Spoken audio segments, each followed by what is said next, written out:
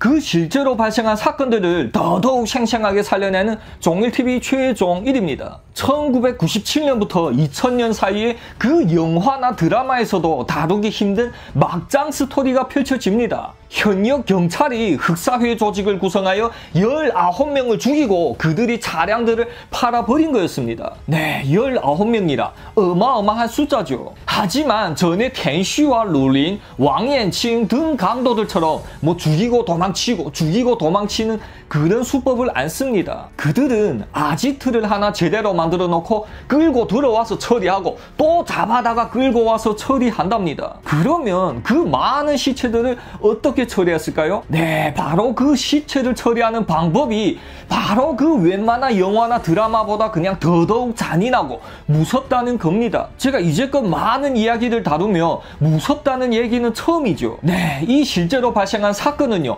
콩첸绝后, 즉 이제껏 역사에도 없었거니와 앞으로도 없을 겁니다. 이번 사건 중에서 제일 힘든 것은 운이 안 좋아서 그냥 걸리면 어찌할 방법이 없다는 겁니다. 다른 형사 사건들에서는 뭘 뭘 조심하고 만약에 일어나게 되면 또 어떻게 어떻게 하면 살아남을 수 있는데요. 이 사건은 아닙니다. 뭐 어찌할 수 없이 그냥 손 놓고 당할 수밖에 없다는 겁니다. 네, 이번 사건에서도 많은 각양각색의 주인공들이 나오는데요. 그 중에서도 양태용과 샤오리는 두 보스입니다. 정확히 말하면 두 의형제였던 그들은 한 명은 현직 경찰이고 다른 한 명은 행동대장으로 활약하게 된 희대의 사건이죠. 네, 그러면 그 중에 제 1보스인 양태용부터 알아보겠습니다. 1957년 중국 운남성에서는 악마 경찰인 양태용이 태어납니다. 그의 두 부모는 두 분 다 철도 방면에서 일하는 정직한 공무원이었답니다. 그리하여 그는 어릴 때부터 철도 학교에서 다녔다고 하는데요. 양태용은 초등학교와 중등학교를 샤올린과 그냥 쭉 함께 다녔답니다. 이 샤올린은 바로 나중에 조직이 넘버 2가 되는 거죠. 그 둘은 문제아로 맨날 싸움질을 하고 다니는 그런 애들은 아니었고 그와 정반대로요. 둘 다 맨날 그냥 다른 애들과 어울리지 않은 그런 괴벽한 성격이었답니다. 그럼 그 둘은 서로 성격이 맞아서 매우 친한 친구가 되었죠. 성스즈交라고 즉 그 성씨만 다른 의형제로 가깝게 지냈던 겁니다. 네, 그 시기 학교는 살벌했습니다. 지금이야 뭐 학교 폭력, 학교 폭력 하면서 다들 제재하고 있지만 그 시기에는 완전 다른 세상이었습니다. 싸움 그 자체가 불법이 아 니니 학교 내에서의 폭력은 그냥 너무나도 당연한 일과가 돼 있었죠. 그렇게 맨날 그 둘만 그냥 서로 어울려서 다니기를 좋아하니 드디어 파리들이 꼬이기 시작합니다. 그러던 어느 날이었습니다. 문이 팡 하고 열리더니 학교 짱과 그 패거리들이 그냥 우르르 몰려 들어오는 거죠. 야야 여기 양태용이라 나오나요? 어? 감히 법이를 알내니? 네, 사실 그 시대에는 학교에서 뭐 주먹이 센 짱들은 실제로 학생들한테서 보호비를 거뒀다고 합니다. 하지만 그 둘은 힘께나 좀 쓴다고 맨날 무시하고 보호비를 안 냈던 거죠. 그걸 봐주다 못해 드디어 출동한 거였습니다.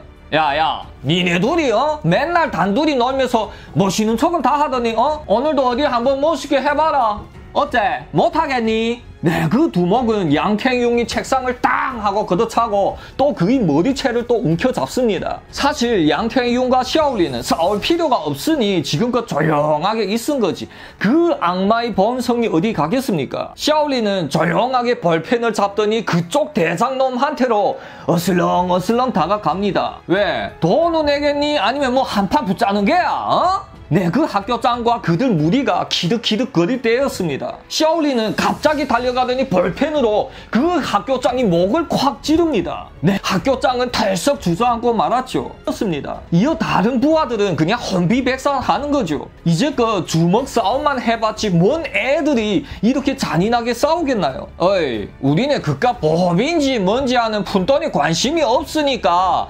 니네가 대장 노릇을 하는 게다. 근데 겁도 없이 우리랑 시비를 거니? 어? 샤올리는 혼자서 다른 패거리들한테 다가가서 그 복부를 향해 주먹을 하나씩 날립니다. 네, 하지만 이미 놀랄 대로 놀란 그들은 찍소리도 못 내고 맞고만 있었죠. 이어 양캥융도 걸상에서 일어나 넘어져 있는 그 대장한테로 어슬렁 어슬렁 걸어갑니다. 이미 그 광경에 넋이 나가 있던 다른 학생들은 아무 반응도 못하고 그냥 멍해서 지켜만 보고 있었죠. 네, 이번에 양캥융이 그 대장인 머리채를 움켜잡고는 귀에 됩니다. 야, 겁이라는 건 말이다. 이렇게 주는 게다. 잘 기억해둬라. 라고 속삭였답니다. 그리 네, 그러자 그 사방에서는 비명 소리가 들렸고 그 소문은 전 학교에 퍼지게 됩니다. 그 이후부터는 다시는 그 두 명한테 감히 말도 거는 사람이 없었답니다. 사실 그번 사건도 그냥 치료비를 물어주니 끝! 참으로 무식한 사회였죠. 그렇게 조용하게 중등학교를 졸업하고 샤올리는 부모 따라 동북이 흥경강성으로 가게 됩니다. 야 형제야 내 나중에 크게 발전하면 꼭 너들 데리러 올게. 네, 그렇게 그 둘은 맹세하고 중국이 동북부와 서남부에 멀리 떨어져 지냈으며 20년 동안 아무런 연락이 없었답니다. 양태용은 학교를 졸업하고 군대를 입대하였으며 또 나와서는 경찰을 하게 됩니다. 그렇게 양태용은 순탄대로를 달리며 조용하게 살았는데 말입니다. 샤오리는 완전 다른 길을 걸었답니다. 얘는 도둑질로부터 시작해서 온갖 범죄란 범죄 범죄는 그냥 다 한 번씩 저질렀다고 합니다. 샤올리는 17살 때 소녀원에 잡혔었는데요. 글쎄 그 소녀원에서 탈출을 했답니다. 이놈이가 간땡이가 웬만큼 부은 놈이 아니었죠. 비록 뭐 감옥처럼 엄한 곳은 아니었지만 어린 놈이 그런 곳에서 도망친 것만 봐도 그냥 어마어마했죠. 그렇게 도망쳐 나온 샤올리는 집에는 다시 돌아 못 가고 길림성 장춘으로 갑니다. 네 하지만 그곳에서도 못된 버릇을 못 버리고 그냥 도둑질을 하는 하는 거죠. 그러다가 또 잡혀 들어가게 되는데 이제 만 18살을 넘었으니 감옥으로 들어갑니다. 네, 근데 뭐 그냥 자그마한 도둑질이니 1년 반을 판결받게 되는데요. 또 그 안에서 맨날 싸워서 반년을 더 연장받았다고 합니다. 그리고 그 뒤에는 맨날 깜빵에 들락날락하게 되었는데요. 그는 평생 동안에 30여 차례나 깜빵에 들어갔답니다. 동북 삼성에 있는 깜빵들은 다 그냥 여러 번씩 다녀와서 얼굴들을 다 알 정도였답니다. 겁니다. 그렇게 1981년이 되었고 24살이 된 샤올리는 이젠 성숙되어 정신을 차립니다. 네, 이런 문제 아들이 또 정신을 차리고 일을 시작하면 또 다른 사람들보다 더 잘하는 놈들도 많았죠. 얘는 제일 처음에는 그 국유 기업에 들어가서 고객 관리를 하는 일을 하였는데 실적은 그 동료들 중에서 넘버원이었대요. 그곳에서 많은 큰 손님들을 장악한 샤올리는 사직서를 내고 아예 혼자서 회사를 차려버립니다. 네, 그 시기 시기에는 사람들 사상이 꽉 막혀져 있었고 이렇게 대담하게 모험하는 사람들은 뭐 아주 적었지만 일딱 시작하면 다들 그냥 떼돈을 벌었다고 합니다. 제가 다룬 흑사회 보스들이 다들 그냥 80년대 초에 그냥 혼자서 시작해서 일어났었죠. 그 중에서 제일 잘 된 건 류한 같은 거물이었습니다. 국유기업은 샤올린 같은 개인 회사를 절대 못 이깁니다. 네, 그 국유기업의 직원들은 뭐 잘해도 그만큼만 월급을 받고 못해도 그만큼만 월급이니 말이죠. 태도부터 완전 쌀쌀 맞고 뭐 일을 열심히 하겠다는 열정도 없이 그냥 뭐 대충 대충 하루를 보냈죠. 하지만 샤올린이 그 개인 회사는 달랐습니다. 얘는 자신이 회사니까 뭐 태도도 아주 깍듯했었고 원래 고객 관리를 했었기 손에 많은 고객을 잡고 있었죠. 그 고객들을 자신이 회사로 옮겨서 그의 사업은 그냥 단번에 확 커집니다. 네, 어느 방면이 회사라고는 더욱 상세하게 나온 게 없지만 아마도 회사들로 찾아 찾아다니며 뭔가 해주는 그런 서비스 회사인 것으로 보입니다. 샤올리는 그쪽에서 또 달달하게 맛을 보고 또 담배 장사에까지 손을 뻗칩니다. 저번 회에 제가 완결판으로 제작한 숭류건의 부하 왕정광도 그 담배 장사를 했었잖아요. 이 담배 장사는 이윤도 엄청 많고 또 많은 사람들이 필수품이라 보니 그냥 다들 그냥 어마어마하게 수익을 냅니다. 하지만 그 왕정광과의 다른 점은요. 왕정광은 짝퉁 담배를 생산했었지 만 하지만 샤올리는 진짜 담배를 들여와서 팔았던 겁니다. 담배 장사는 너무 크게는 하지 않았는데요. 여기서 나중에 그의 부하인 차이고리를 만나게 됩니다. 그들은 서로 이웃에 살고 있었는데 우연히 뭐 같은 담배 장사를 한다는 거였습니다. 근데 차이고리가 매우 우울해하며 담배 장사가 그렇게 힘들다고 그냥 한탄하는 거였죠. 뭐? 담배 장사가 힘들다고? 그럴 리가 없겠는데 아니 이렇게 달달한 장사가 어딨니? 넌 대체 어떻게 왜 그래 그렇게 힘드야? 네, 사실은 이러했습니다. 그 시기에나 지금이나 그냥 운남성이 담배가 일품이거든요. 잘 굴리는 장사 규모가 너무 큰 거는 아니어서 그 기차 위에서 일하는 열차원들한테서 담배를 조금씩 조금씩 사들였답니다. 네, 그러니 열차원들이 그 중에서 한 번 뜯어 먹고 그 가격이 맞지 않았던 거였죠. 잘 굴리야, 니 그렇게 장사하면 아이 된다. 야, 그렇게 하면 열차원들 배만 불리지 뭐야? 담배 장사란 건 말이다. 직접 가서 구매해야 된다. 니 혹시 구매량이 많지 않아서 할인이 적어서 그래니? 그러면 다음에부터 나랑 함께 가자. 나는 량이 많으니 최대 할인이거든. 네, 그 뒤부터 샤올린이 운남에 가게 되면 잘구얼리는 항상 따라다니며 그냥 친하게 지냈다고 합니다. 하지만 하지만 말입니다. 그 둘이 운남에 가게 됐으면 샤올리는 항상 그 어렸을 때 호형호재하였던 양태용을 얘기했답니다. 이 운남성이 어딘가에는 살고 있겠는데 만약에 우리 두 명이 뭉치게 되면天不怕 地不怕 즉 이 세상에 무서울 게 없다고 맨날 그랬답니다. 하지만 또 서로 만난 적은 없었죠. 연락처도 모를 테고 시간도 없었겠죠.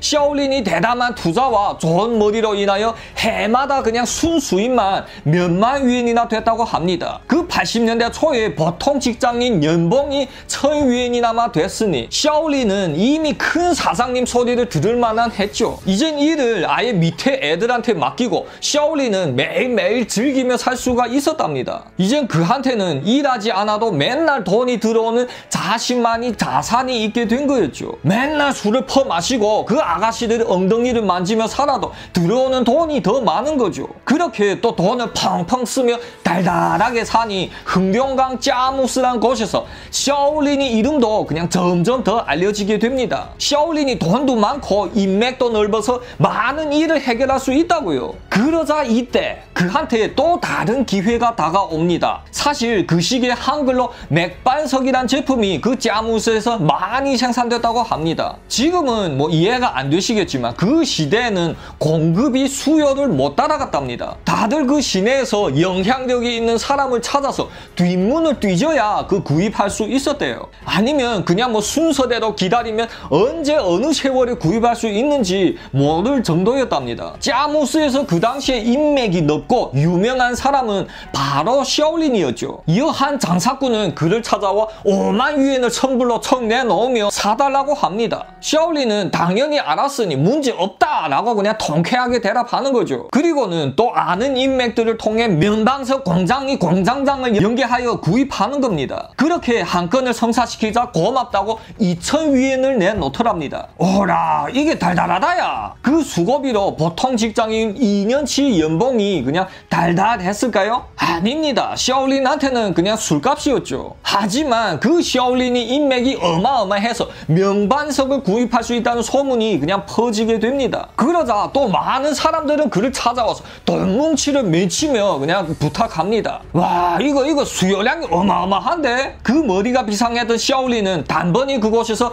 큰 기회를 발견하고 준비합니다. 사실 그의 회사는 뭐 금속을 도매할 수 있는 그런 자격이 없었죠. 이어 샤올린은 재빨리 금속을 도매할 수 있는 회사로 다시 신청합니다. 그리고는 또 몇만 위엔을 주고 지프차를 한 대 구입하고 기사 까지 한 명 썼다고 합니다. 그 월급은 200위엔만 줘도 덩치 좋고 보디가드 겸 그냥 기사로 쓸 수 있었거든요. 운전도 해주고 뭐 어디에 도착하면 차문도 열어주고 그 시대에는 딱 봐도 그냥 회장님으로 보였겠죠. 그리고는 또 최고급 셔츠와 슈트를 척 차려입고 어디 가나 명함을 그냥 쫙 돌렸다고 합니다. 네 그러자 그를 통해 명반석을 구입하려는 사람들이 그냥 점점 더 늘어나게 되는 겁니다. 이어서 명반석 공장이 그 고층 간부와 또 친하게 지나면 또 제일 먼저 우선적으로 구입할 수 있게 만들어 놓는 겁니다. 그러자 그러자 말입니다. 드디어 한식의 세 명의 큰 손이 샤올린을 찾아오게 됩니다. 그중 광서에서 온 한 장사꾼은 선불로 90만 위엔을 제출했었고 또 다른 한 명은河南에서 온 장사꾼이었는데 40만 위엔 네, 이 마지막 사람은 광동에서 왔는데 30만 위엔을 선불로 제출했답니다. 이것들은 다들 그냥 선불입니다. 만약 180만 유엔어치 그 물건이 되면 먼저 90만 유엔을 주고 물건이 도착하면 또 나머지 90만 유엔을 주겠다는 거죠. 사실 그 시기에는 다들 그렇게 장사를 했었답니다. 하지만 하지만 말입니다. 비상한 머리를 가졌던 샤올리는 이제부터의 그 수단과 방법은 아주 그냥 기가 막힙니다. 샤올리는 약속대로 180만 유엔어치 명반석을 그 트럭으로 기차역까지 옮겨갑니다. 네, 왜냐면 그 기차역 에는 화물 기차도 있었으니 그 화물 기차로 광서에까지 실어 나르는 거죠. 이어 명반석을 구입한 장사꾼은 기차역에 찾아와서 물건들을 그냥 꼼꼼히 체크합니다. 자, 역시 그 깔끔한 깔끔한 최상급이 명반석이었고 또 수량도 확실했었죠. 오케이 샤올리나 수고했다. 지금 우리 회계가 은행에 가서 즉시 너희 계좌로 90만 위엔을 입금하게 될 거다. 그러면 이제 저 물건을 실어도 되지? 네, 그러자 샤올리는 또 환하게 웃으면 당연하지 하면서 화물기차의 물건을 싣게 합니다. 네, 그 물건을 싣는데도 한참을 걸리니 그 둘은 아주 기분 좋게 바라보며 담배질을 해대는 거죠. 그렇게 다 싣고는 야, 요번에야 정말로 고맙다 야. 내 광서에서 물건을 받게 되면 즉시 남은 90만 위엔과 그 수고비 8천 위엔을 함께 보낼게. 그럼 다음에 보자. 네, 그 광서에서 온 장사꾼은 먼저 그렇게 떠납니다. 왜냐면 얘는 승객 기차에 타야 하는데 화물 기차보다 매우 느렸답니다. 그러니 먼저 출발을 해야 광서에 먼저 도착해서 그 물건을 바라보는 거죠. 네, 보통 딜은 이렇게 끝나는데 이러면 아무 문제 없겠죠. 하지만 샤올리는 달랐습니다. 어이 잠깐만 야 이거 돈이 아직 입금 안 됐거든 출발하면 아야 된다 들었니? 에? 이건 또 뭐죠? 샤올리는 그 계약서를 꺼냅니다. 네, 그 계약서에는요, 관부도장 부파처라는 그 계약 조건이 또 달랑 붙어 있었답니다. 그 뜻은 돈이 입금되기 전에는 과물 기차를 보내지 못한다라는 거죠. 뭐 당연한 얘기니 그 세 명의 장사꾼은 대수롭지 않게 생각했는데요. 그건 샤올린한테는 제일 관건적인 한 구절이었죠. 네, 그러면 돈은 입금 안 됐을까요? 선불 90만 위에는 도착했는데 사실 샤 올리는 그냥 못 받았다고 하면 못 받은 거죠. 또 그 중에 제일 중요한 건 그 물건이 구입자는 이미 다른 기차를 타고 떠났다는 겁니다. 그래요. 아, 또 그런 계약 조건이 있었구나. 근데 어쩌죠? 기차는 시간이 되면 출발해야 하는데 그럼 뭐 물건을 내릴 수밖에 없겠네요. 그래, 뭐 그럼 할 수 없지. 내려야겠네. 네, 샤올리는 아주 그냥 시끄러운 듯 연기를 해댔지만 사실 이게 바로 그가 바래왔던 거죠. 네, 그렇게 물건들은 다시 불이워 내렸지만 허난이 장사꾼은 이 사실을 꿈에도 상상 못했겠죠. 아마도 지금쯤이면 기차 안에서 기분 좋게 그냥 흥얼거리며 달리고 있었을 겁니다. 네, 그 시기에는 기차 속도가 매우 늦어서 그 흥룡강 짜무스에서 광서로 가려면 아마도 일주일 동안은 걸렸을 겁니다. 네, 그러면 그렇게 화물기차에 있었던 명반석도 내렸겠다.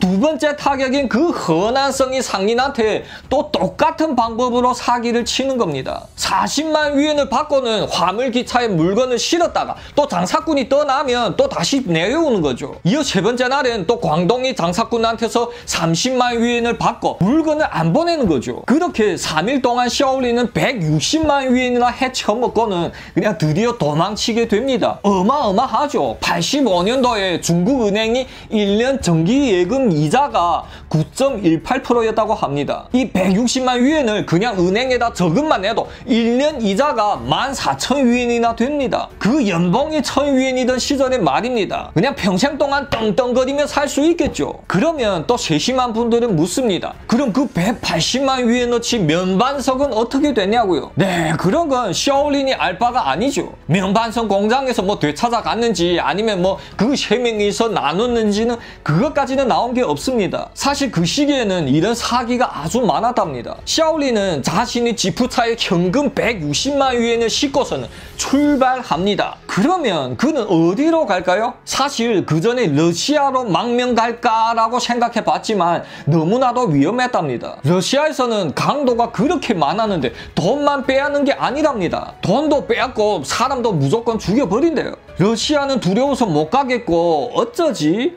네, 바로 그때 그의 머리에는 운남에 있었던 양태용이 떠오릅니다. 그래, 운남은 흥룡강에서도 아주 멀리 떨어져 있고 그쪽에는 내 의형제 양태용이 있다 아이가. 오케이, 여후 동상, 여난 동당이라고 복이나 화나 함께 해야 형제지. 출발하자! 네, 그렇게 샤오리는 지프차에 160만 위엔을 싣고서 운남으로 출발합니다. 그러면 20년 동안 얼굴을 못 본 양태용과 샤오리는 어떻게 될까요? 왜서 이렇게 잘 나가던 샤오리는 굳이 범죄의 길에 들어섰을까요? 이 회에서 계속하겠습니다. 재밌게 시청하셨으면 구독과 좋아요 탕탕 찍어주시고요. 다음 회에 또 짜이제!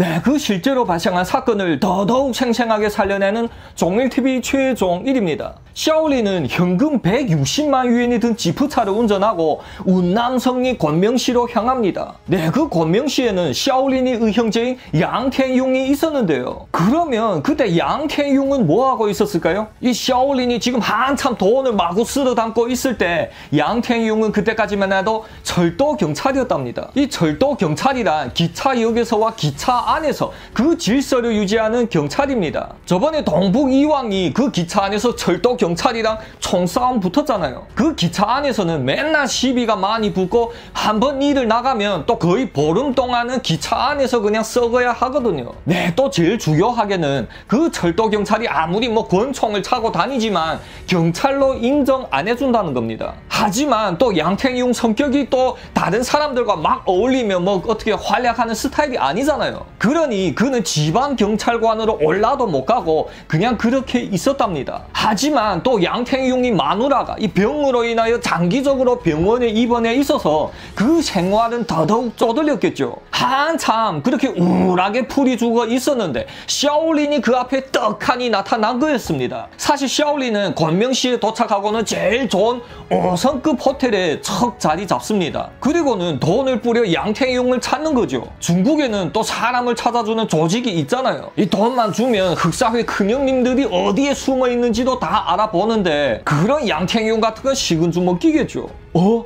내 의형제 양태용이 경찰질을 한다고? 아니 어딜 때 나보다도 더 잔인했던 건달놈이 경찰이라고? 음... 네, 샤올리는 잠깐 망설입니다. 이거 잘못되면 지발로 잡아주쇼 라고 찾아가는 꼴이 될 수 있으니 말입니다. 네, 그렇게 한참을 고민하다가 결국 수화기를 들고 양태용이 경찰서에 전화를 하는 거죠. 왜? 네, 그 양태용의 목소리를 20년 만에 듣자 샤올린은 그렇게 반가울 수가 없었답니다. 양태용아, 내 샤올린이다, 샤올린. 야, 반갑다 친구야, 잘 지냈니? 네, 그러자 또 양태용도 겁나 반가웠겠죠. 와, 샤올린, 그 내 의형제 샤올린 맞니? 이게 대체 이게 얼마 만이야? 지금 어디야? 네, 그러자 또, 어, 나 지금 비즈니스 때문에 권명에 왔거든. 야, 아니, 오늘 저녁에 시간 되니? 우리 만나서 한 잔 든든히 해야지. 네, 그 샤올린이 말투는 회장님이 스타일이었죠. 그래, 그래. 야, 한 잔 해야지. 야, 반갑다, 야. 우리 집 부근에 빨리 오라. 여기 양꼬치집이 기가 막힌데 하는 데 있다. 네, 그러자 샤올린은 야야 의형제야 우리 20년 만에 만났는데 양꼬치가 뭐야 양꼬치가 내가 지금 있는 호텔에서 요리를 괜찮게 하더라 여기 찐롱 호텔인데 너 시간 되면 얘기해라 내 기사를 보내서 너를 모시올게 에? 찐롱 호텔? 그 가격이 너무 비싸서 외국 상인들만 든다는 그 5승급 호텔? 헐 우리 샤올린이 안 볼 사이 많이 컸네 오케이! 양태용은 깨끗하게 샤워를 하고 자기 옷들 중에서 제일 괜찮아 보이는 양복을 척 입고 나갑니다. 네, 그러자 그 앞에는 지프차 한 대가 기다리고 있었는데 그 안에서 또 웅장한 덩치 한 사내가 나오더니 그한테 차문을 열어주는 거였습니다. 자, 괜찮다야, 괜찮!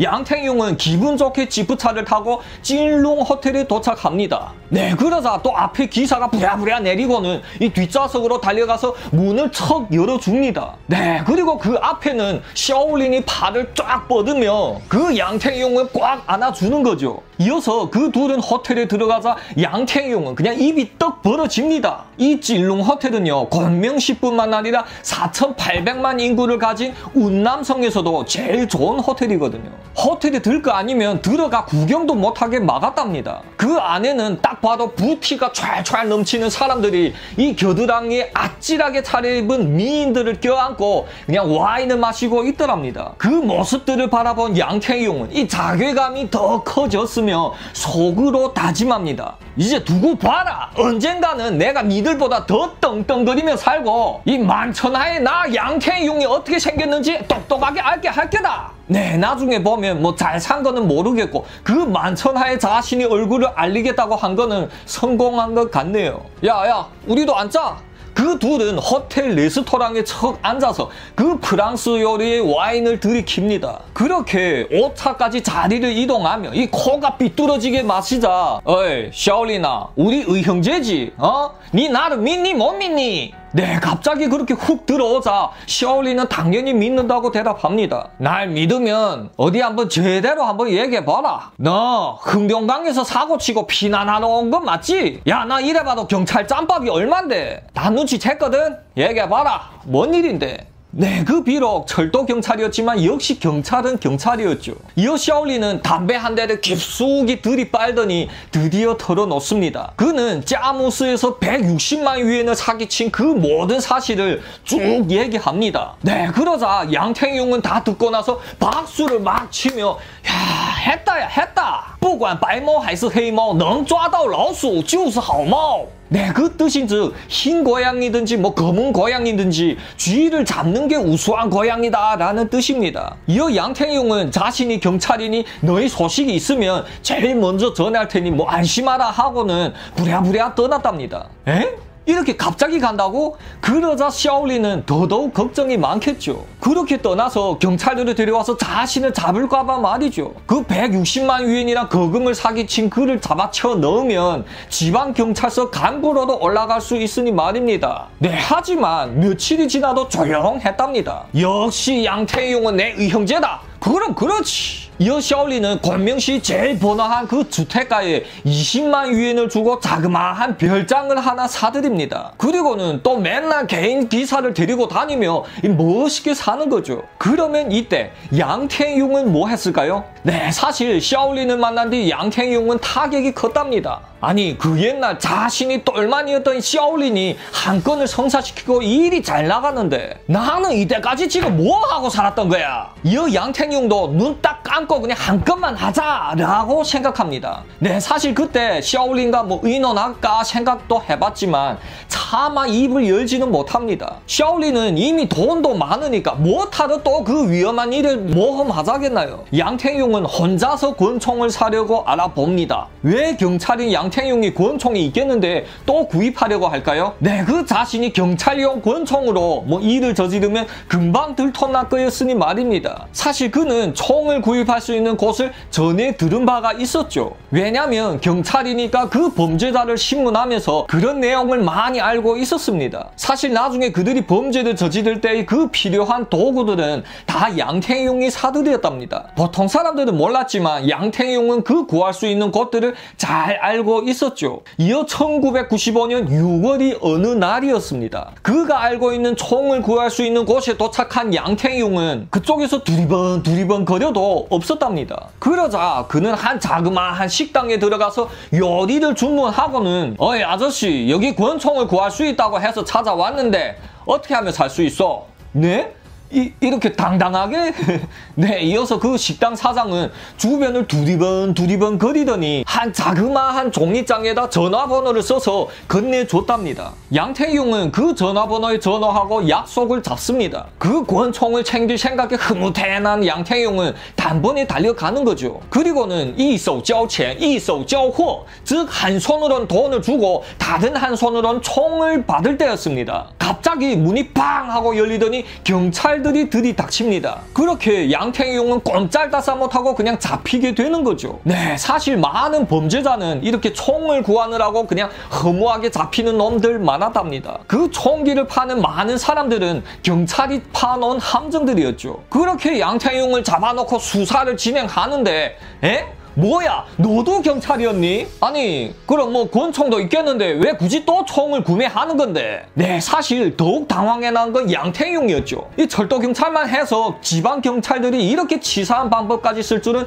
꿈에도 상상 못했던 겁니다. 양태용은 우물쭈물하면서 겨우 넘어갔답니다. 그래 뭐 너가 경찰이고 범죄자도 아니니 뭐 너 풀어주는 건 오케이다. 근데 두 가지가 필요하다 첫째, 너들 담보를 서주는 사람이 필요하다. 이 담보를 서주는 사람은 뭐 보통 사람이면 아니 된다. 어느 만큼 신분이 있는 사람이 돼야 된다 이거다 들었니? 그리고 둘째, 벌금 3만 위에는 내놔라. 네, 이어 양캥용은 자신이 그 급이 좀 높은 인맥들을 총동원해서 겨우 담보를 서고 나왔다고 합니다. 하지만 뭐 그걸로 끝은 아니었죠. 너 나가는 건 좋은데 벌금 3만 원을 빨리 내놔라. 이 한 주일 안에 돈을 아이 내놓으면 너희 경찰서에다 이 사실을 몽땅 고발하겠다. 네, 사실 이 경찰들도 다들 깨끗한 경찰은 아니었습니다. 이 3만 위엔을 받아서 몇 명이서 나눠서 썼대요. 나중에 양태용이 또 잡혀서 다 진술했었고 이 검은 경찰들은 그에 해당하는 감옥살이를 판결받게 됩니다. 하지만 그 당시에 양태용한테 3만 위엔이 어디 있겠습니까? 제대로 바빠난 양태용은 하늘 수 없이 샤올린을 찾아갑니다. 뭐?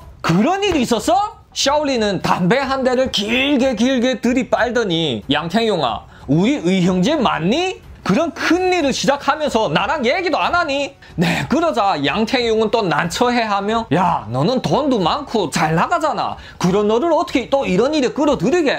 네, 그러자 샤올리는 또 명언을 날립니다. 양태용아, 의 형제란 게 뭐야? 어? 여후 동상, 여난 동당이 아니니? 네 일이면 그건 내 일과 똑같은 거다. 네가 100만 위엔을 벌고 떵떵거리며 살 때까지 내가 곁에서 도와줄게. 우리 어디 한번 예전처럼 멋있게 한번 해보자. 네, 이어서 샤올리는 양태용이 그 벌금 3만 위엔을 물어주고 그 둘은 조용한 데 앉아서 거사를 의논합니다. 역시 머리가 좋은 샤올린이 나서서 그 계획을 모두 짭니다. 큰 돈을 벌려면 총이 있어야 되고 조직원이 있어야 되는데 또 그 조직원들을 잘 다루려면 반드시 제도가 있어야 된다 이겁니다. 샤올린이 만든 제도란 이런 거였습니다. 이 조직에 들어오게 될 사람들은 등기부를 무조건 작성해야 된다. 그 조직원이 와이프나 부모들, 친인척들 이름과 뭐 신분증 번호, 연락처와 주소 등을 모두 그냥 진짜로 남겨야 된다. 이건 뭐냐면 고요, 고파, 자요, 자贵라고 그 나라의 법이 있듯이 한 개 조직에도 룰이 필요하다 는 겁니다. 만약에 누가 거사를 시작한 걸 후회하고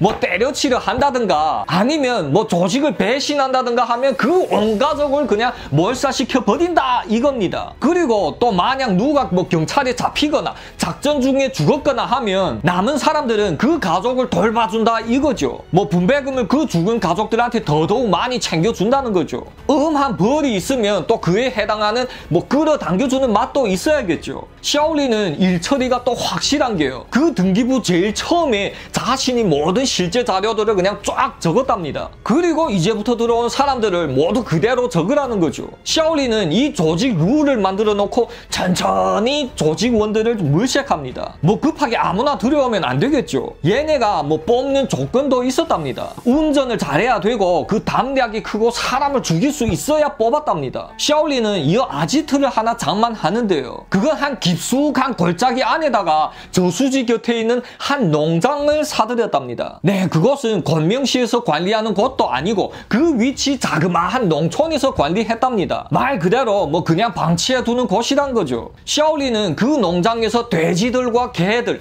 그리고 닭들까지 키우며 그냥 밖에서 척 보면 뭐 가축들 사육장으로 보였답니다. 샤올린이 이런 일들을 볼 때 양태용도 바삐 돌아다닙니다. 양태용은 권총 몇 자루에 수류탄 두 개, 그리고 경찰 차량 번호판에 또 경찰복 등등을 얻어옵니다. 네, 저번 교훈으로 뭐 더더욱 신중하게 사들여서 이번엔 성공했답니다. 또 한편으로는 조직원들도 모집하여 2년을 준비했다고 합니다. 이어 1997년 샤올린과 양태용은 조직원 5명을 뽑아서 7인 조직을 결성하게 됩니다. 그 새로 들어온 5명은 이러했습니다. 첫째, 양민차이. 이 양민차이는 양태용의 조카였습니다. 그 둘은 나이 차이가 뭐 얼마 나지는 않았지만 그 관계가 그렇게 됐답니다. 양민차이는 전업 군인이었는데 그 베트남 전쟁에서 앞장서서 뭐 날아다녔답니다. 그 죽여야만 살아남는 그 진정한 전장에서 살아난 놈이다 이거죠. 이 만한 경력이면 당연히 오케이겠죠. 하지만 양민차이는 군에서 제대하고 뭐 아무런 분배도 못 받아서 집에서 놀다가 뭐 농사를 지어야만 했답니다. 그 자신이 체질에 안 맞아서 맨날 삼촌이 양태용한테 전화해서 뭐 일자리를 찾아달라고 했었대요. 양민차이는 그렇게 조직에 들어왔고 두 번째로 들어오게 된 신입은 샤올리라고 불렀답니다. 네, 그 이름만 딱 봐도 샤올린이 친동생이었죠. 동생 샤올리는 자신이 친형이 그 돈 많고 잘 나 군관이 항상 그냥 졸졸 따라다녔답니다. 이어 형이 권명으로 가자 온 가족을 데리고 권명에 와서 뭐 뚱베이 쩌즈관이라고 동북 만두 가게를 했었답니다. 하지만 이 놈은 뭘 해도 뭐가 안 되는 그런 놈이었는데 몇 개월도 안 돼서 또 말아먹고서 형님 샤올린만 바라봤답니다. 이제 샤올린도 답답했겠죠. 아무리 동생이라도 뭐 어떻게 평생 먹여 살릴 수는 없으니 이번 기회에 너희 힘으로 큰 돈을 벌어서 한번 잘 살아봐라 이거였습니다. 이어 세 번째로 들어온 조직원은 텅디엔 똥입니다. 이놈은 키가 180을 넘고 이 남자처럼 시원시원하게 생겼습니다. 텅디엔 똥은 대련 사람이었는데 쭉 군대에 있었는데요. 뭐 다른 건 알려진 바가 없는데 구운을 대표하는 축구 선수였답니다. 그것도 공격수로 활약했답니다. 네, 이놈이 이거 몸놀림이 날렵하고 이 판단력이 빠르다는 걸 알 수 있죠. 얘는 대련 사람이었는데 어떻게 권명시까지 와서 뭐 병원에 입원하게 되었는지 잘 나와 있진 않지만 그 병원에서 샤올린을 알게 되었답니다. 이 샤올린은 역시 담량도 엄청 컸었죠. 글쎄 맨날 군관 복장을 입고 다니며 자신이 군관이라고 하고 다녔답니다. 그 경찰관도 아니고 전업 군인들 장관 말입니다. 샤올린은 우연히 병원에서 텅디엔똥을 알게 되었고 뭐 같은 동북 사람이란 이유로 뭐 잘해줬다고 합니다. 술도 자주 사주고 뭐 힘들다면 돈도 빌려줬대요. 그러자 텅디엔똥은 자신 인생에서 귀인이 나 타난 줄만 알았죠. 얘가 언제 또 다른 곳에서 군관과 친해질 수 있겠습니까? 텅디엔똥은 퇴원을 하고도 대련으로 돌아가지 않고 그 샤올린을 따르게 되었답니다. 그 덩치도 좋고 잘생긴 텅디엔똥은 샤올린이 차량 기사로 들어갔답니다. 그리고는 자신도 모르게 점점 더 깊게 빠져든 거였죠. 이어 네 번째로 들어온 조직원은 이름이 조수광입니다. 얘는 덩디엔똥이 사촌 형이었는데요. 대련에서 알아봐주는 백수 건달이었답니다. 그리고 제일 마지막 멤버는 바로 차이고리였습니다. 네, 이놈은 저번 회에 나왔던 그 샤올린한테서 담배 장사를 배웠던 놈이죠. 차이고리는 샤올린을 굳게 굳게 믿었고 그냥 샤올린만 따르면 달달하게 살 수 있을 것으로 그냥 따라다녔답니다. 샤올린이 160만 위에는 한 방에 번 걸 보고는 그냥 침을 개개 흘리며 자신도 나중에 100만 위엔을 가지는 그런 꿈을 맨날 꿨답니다. 그렇게 일곱 명이 모이게 되자 이제 뭐 인원수도 맞춤하고 샤올린은 애들을 다 불러 회의를 합니다. 야들아 다들 각지에서 달려오느라고 수고 많았다. 우리는 다 100만 위엔을 벌려고 모인 거지. 오케이. 뭐 쓸데없는 소리 걷어치고 중점을 얘기하겠다. 우리는 비싼 차량들을 빼앗아다가 처리해서 각자 100만 위엔을 만들 거다. 더욱 자세히 얘기하자면 그 차량을 강탈하고 이곳 아지트까지 갖고 오는 거다. 그리고 사람은 죽이고 그 차량은 전문 중고로 처리하는 애들한테 처리할 거다. 다들 알아들었니? 헐 이게 뭐지? 다들 멍해합니다. 니네 다 이 룸에 들어오기 전에 등기부를 다 작성했지. 이 등기부는 말이다. 사실 살시한 분해라. 이제 누가 다른 생각을 품는다든가 어? 뭐 도망을 친다 하든가 하면 그냥 니네 온 가족을 그냥 말살시켜버린다 알았니? 네 그러자 다들 그냥 털썩 주저앉습니다 그 모든 건 그냥 다 거짓이었죠 이젠 빼도 박도 못하고 잡히게 된 거였습니다 뭐 그렇다고 뭐 다들 너무 걱정하지 말고 우리 큰형님이 누구야? 이 양태이용 큰형님은 현직 경찰이다 야 경찰이 우리 뒤에 있는데 뭐가 걱정이야 그리고 니들 행동대장이 있나? 샤올리는 다들 뭐 잘 알고 있지? 그런 160만 위엔이 어마어마한 작전을 성공시킨 내가 지휘하는데 대체 뭔 걱정도 필요하겠나? 다들 빨리 작업에 들어가서 우리 각자 100만 원씩 챙길 때까지 그냥 눈 딱 감고 한번 해보자. 그 다음부터 니네는 그냥 꽃길만 그냥 달달하게 가는 거다. 오케이? 자, 자, 우리 첫 번째 작전 브리핑 좀 한번 하자. 네, 이제부터 그들은 세상을 깜짝 놀라게 할 사건들을 벌입니다. 그건 다음 3회에서 계속하고요. 이 재밌게 시청하셨으면 구독과 좋아요 팡팡 박아주시고요. 다음 회에도 짜이제! 그 실제로 발생한 사건을 더더욱 생생하게 살려내는 종일TV 최종 1입니다. 1997년 4월 6일 샤올리는 지프차를 끌고 텅디엔동과 자이구어리를 데리고 그들 첫 번째 목표를 노립니다. 원하로 그렇게 찾아다니다가 오후 2시가 되었답니다. 그제야 그들은 드디어 한 토요타 4500 SUV를 눈독 들입니다. 샤올리는 그 부근에 주차를 하고 차 안을 잘 관찰하는 거죠. 네, 그 차량 차량 안의 운전기사는 이름이 양웨이똥이라고 불렀는데 글쎄 그 차량 안에 뒷좌석에서 뭘 그냥 온 하루 정비하더랍니다. 그 차량 트렁크 물건을 정비하려면 보통은 차량 뒤에 트렁크 문을 열고 정비하잖아요. 근데 그 안에서 불편하게 정비를 하고 있다? 네, 그건 저 안에 뭔가 좋은 물건이 있다는 게다. 그래, 오늘은 전화문을 하자. 네, 그 셋은 당당하게 걸어가서 다짜고짜 그 차량 안으로 뛰어듭니다. 뭐, 뭐, 뭐야, 당신들? 네, 이어 샤올리는 품에서 수류탄을 꺼냅니다. 야, 이거 사게? 에? 네, 그 어처구니 없는 질문에 운전기사의 주의력이 분산되었죠. 이어 그 틈을 타서 샤올리는 탁탁 하고 그냥 그 수류탄으로 내리깝니다. 그러자 양호의 똥은 기절하는 거죠. 이어 샤올리는 사시미 칼을 꺼내더니 복부를 향해 쿡쿡 하고 두 번 찌릅니다. 그리고는 칼을 자이구얼리한테 넘기는 거죠. 어이, 네 차례다. 쑤셔봐라. 네, 그러자 자이구얼리는 당황해하면 네, 나, 나 아직 마음의 준비가 안 됐는데. 네, 하지만 그 샤올린의 눈빛은 살기로 이글 거렸죠. 만약 칼을 잡지 않으면 그 자리에서 당할 것만도 같았겠죠. 잘권리는 사시미 칼을 잡아 양호의 뚱이 배를 향해 쿡쿡 하고 또 두 번 찌릅니다. 그리고 또 그 곁에서는 텅디엔 둥이 그냥 와들와들 떨고 있었답니다. 이어 또 그곳에 뭐 너무 오래 있으면 안 되니 샤올린이 그 차량의 운전대를 잡고는 어이 텅디엔 둥아 너 뒤에 우리 차량을 운전하고 바짝 따라붙어라 들었니? 정신 바짝 차리고 샤올리는 덩디엔동한테 귀시아래게로 두대 날립니다. 네, 그리고는 시동을 걸고 출발하는 거죠. 그렇게 한참을 달리고 있었는데 갑자기 양호의 똥이 발사닥 일어났답니다. 네, 그는 아직 죽지는 않았는데 제정신은 아니어서 멍해서 그냥 두리번 두리번 거디더랍니다. 헐, 너 아직도 아이 죽었니? 곁에 앉아있던 잘고리가 그 사시미 칼로 또 심장 쪽을 향해 두 번 찍습니다. 그제야 양호의 똥은 진짜로 숨통이 끊어진 거죠. 있죠. 오, 잘구얼리 좀 하는데? 그래, 뭐 처음이 힘들지. 이제 뭐 할만하지? 네, 그 둘은 그렇게 서로 바라보며 악마의 미소를 짓는 거였답니다. 그렇게 또 한참을 가고 있는데요. 어? 뭐야? 텅디엔똥이 어디 갔어? 네, 글쎄 뒤에 따라오던 텅디엔똥이 지프차가 사라진 거였죠. 아이고, 샤올린과 잘골리는 순간 눈앞이 캄캄해집니다. 그때까지만 해도 텅디엔똥은 손에 피도 안 묻혔고 즉시 경찰서에 가서 신고할 수도 있었겠죠. 그 둘은 버럭 겁이 나서 차량을 한 골짜기에 세웁니다. 그리고는 이어도 부랴부랴 차량 안을 수색하니 역시 뒤에 트렁크에서 2만 위엔이 현금이 나오더랍니다. 그 둘은 현금만 챙기고는 토요타 4500을 버리고는 그냥 달려서 아지트로 갑니다. 그렇게 허둥지둥 힘들게 아지트에 겨우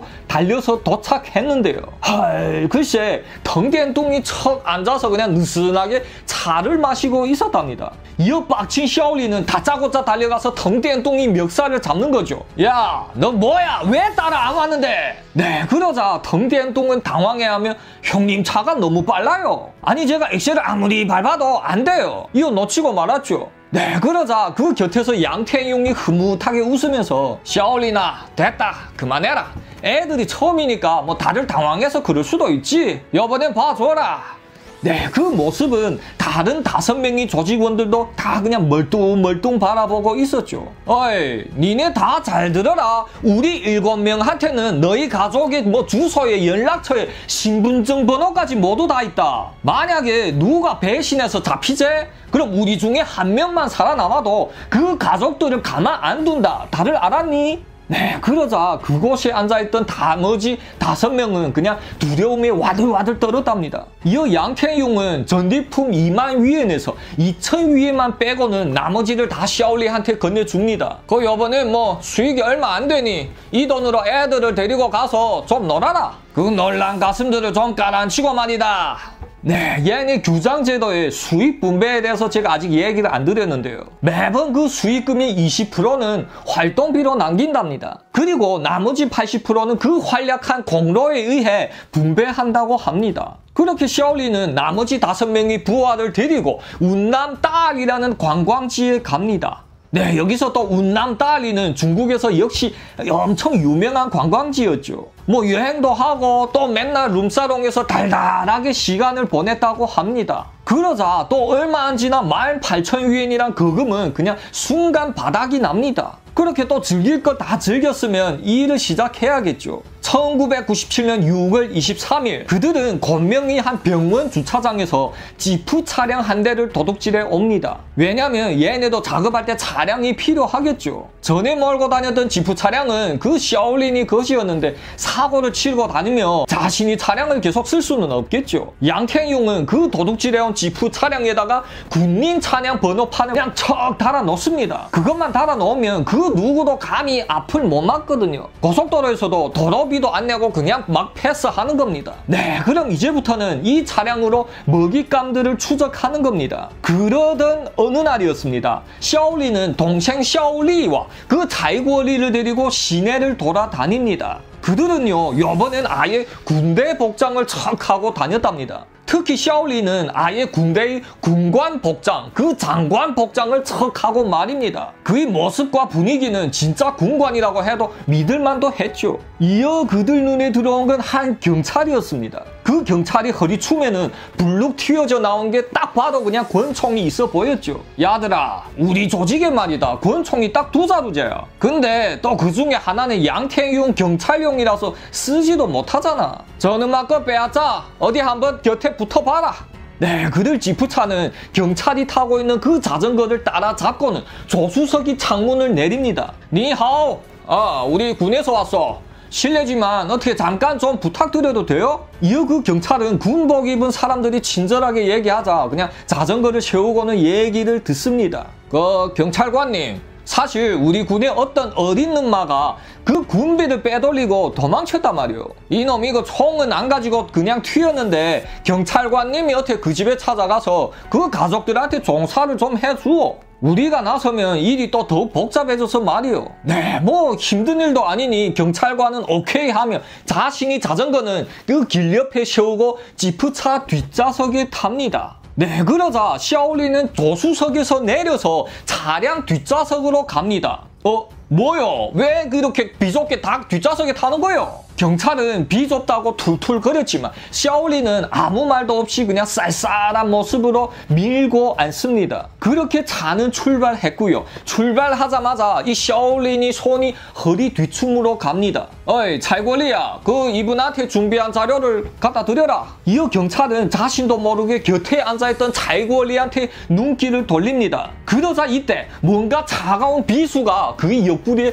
쿡 하고 들어옵니다. 뭐야 니들 이어서 자이원리도 빼든 건 자료가 아니고 군용 비수였죠. 또 그냥 쿡쿡쿡 하고 그냥 이어 좌우에서 경찰을 향해 그냥 마구 쑤셔댑니다. 결국 그 경찰은 칼에 20여 차례나 찔려서 숨을 거두었다고 합니다. 네, 참으로 독했죠. 군대 차량이고 군관 복장인데 어떻게 의심할 수가 있겠나요? 그 시절에는 또 지금처럼 야박한 세상이 아니고 인심 좋은 세월이었으니 그냥 남을 도와주려는 그런 선량한 사람들이 마음을 이용했던 겁니다. 이어 샤올리는 그 경찰이 허리춤에서 권 총을 빼서 챙기고는 그 시체를 그냥 개울가에 버렸다고 합니다. 이어 아지트에 도착했고 그 총을 보자 양탱용은 그냥 좋아서 펄펄 뜁니다. 야 역시 내 의형제다 의형제.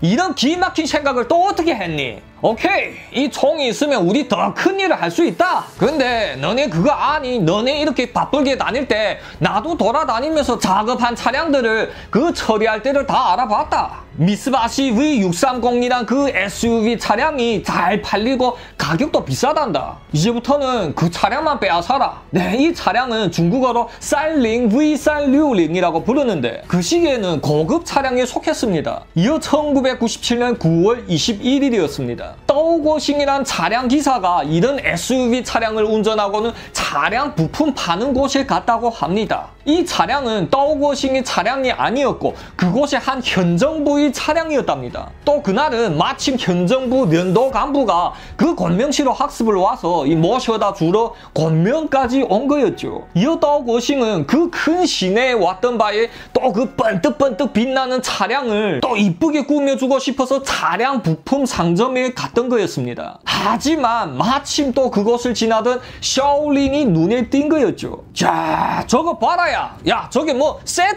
차. 오늘은 저걸로 하지 뭐. 샤오리는 그 차량 부근에 주차하고는 차량 기사가 나올 때까지 기다립니다. 네, 이어서 떠우고싱이 아무것도 모르고 흔들흔들거리며 걸어와서 차에 오릅니다. 그러자 이때 떠우고싱이 앞에는 한 지프차가 확 가로막더니 그 안에서 몇 명이 경찰이 내립니다. 네, 사실 저번에는 군대 복장으로 사고를 쳤으니 이번에는 경찰 복장으로 다들 그냥 쭉 빼 입은 거였습니다. 어, 이게 네 차야?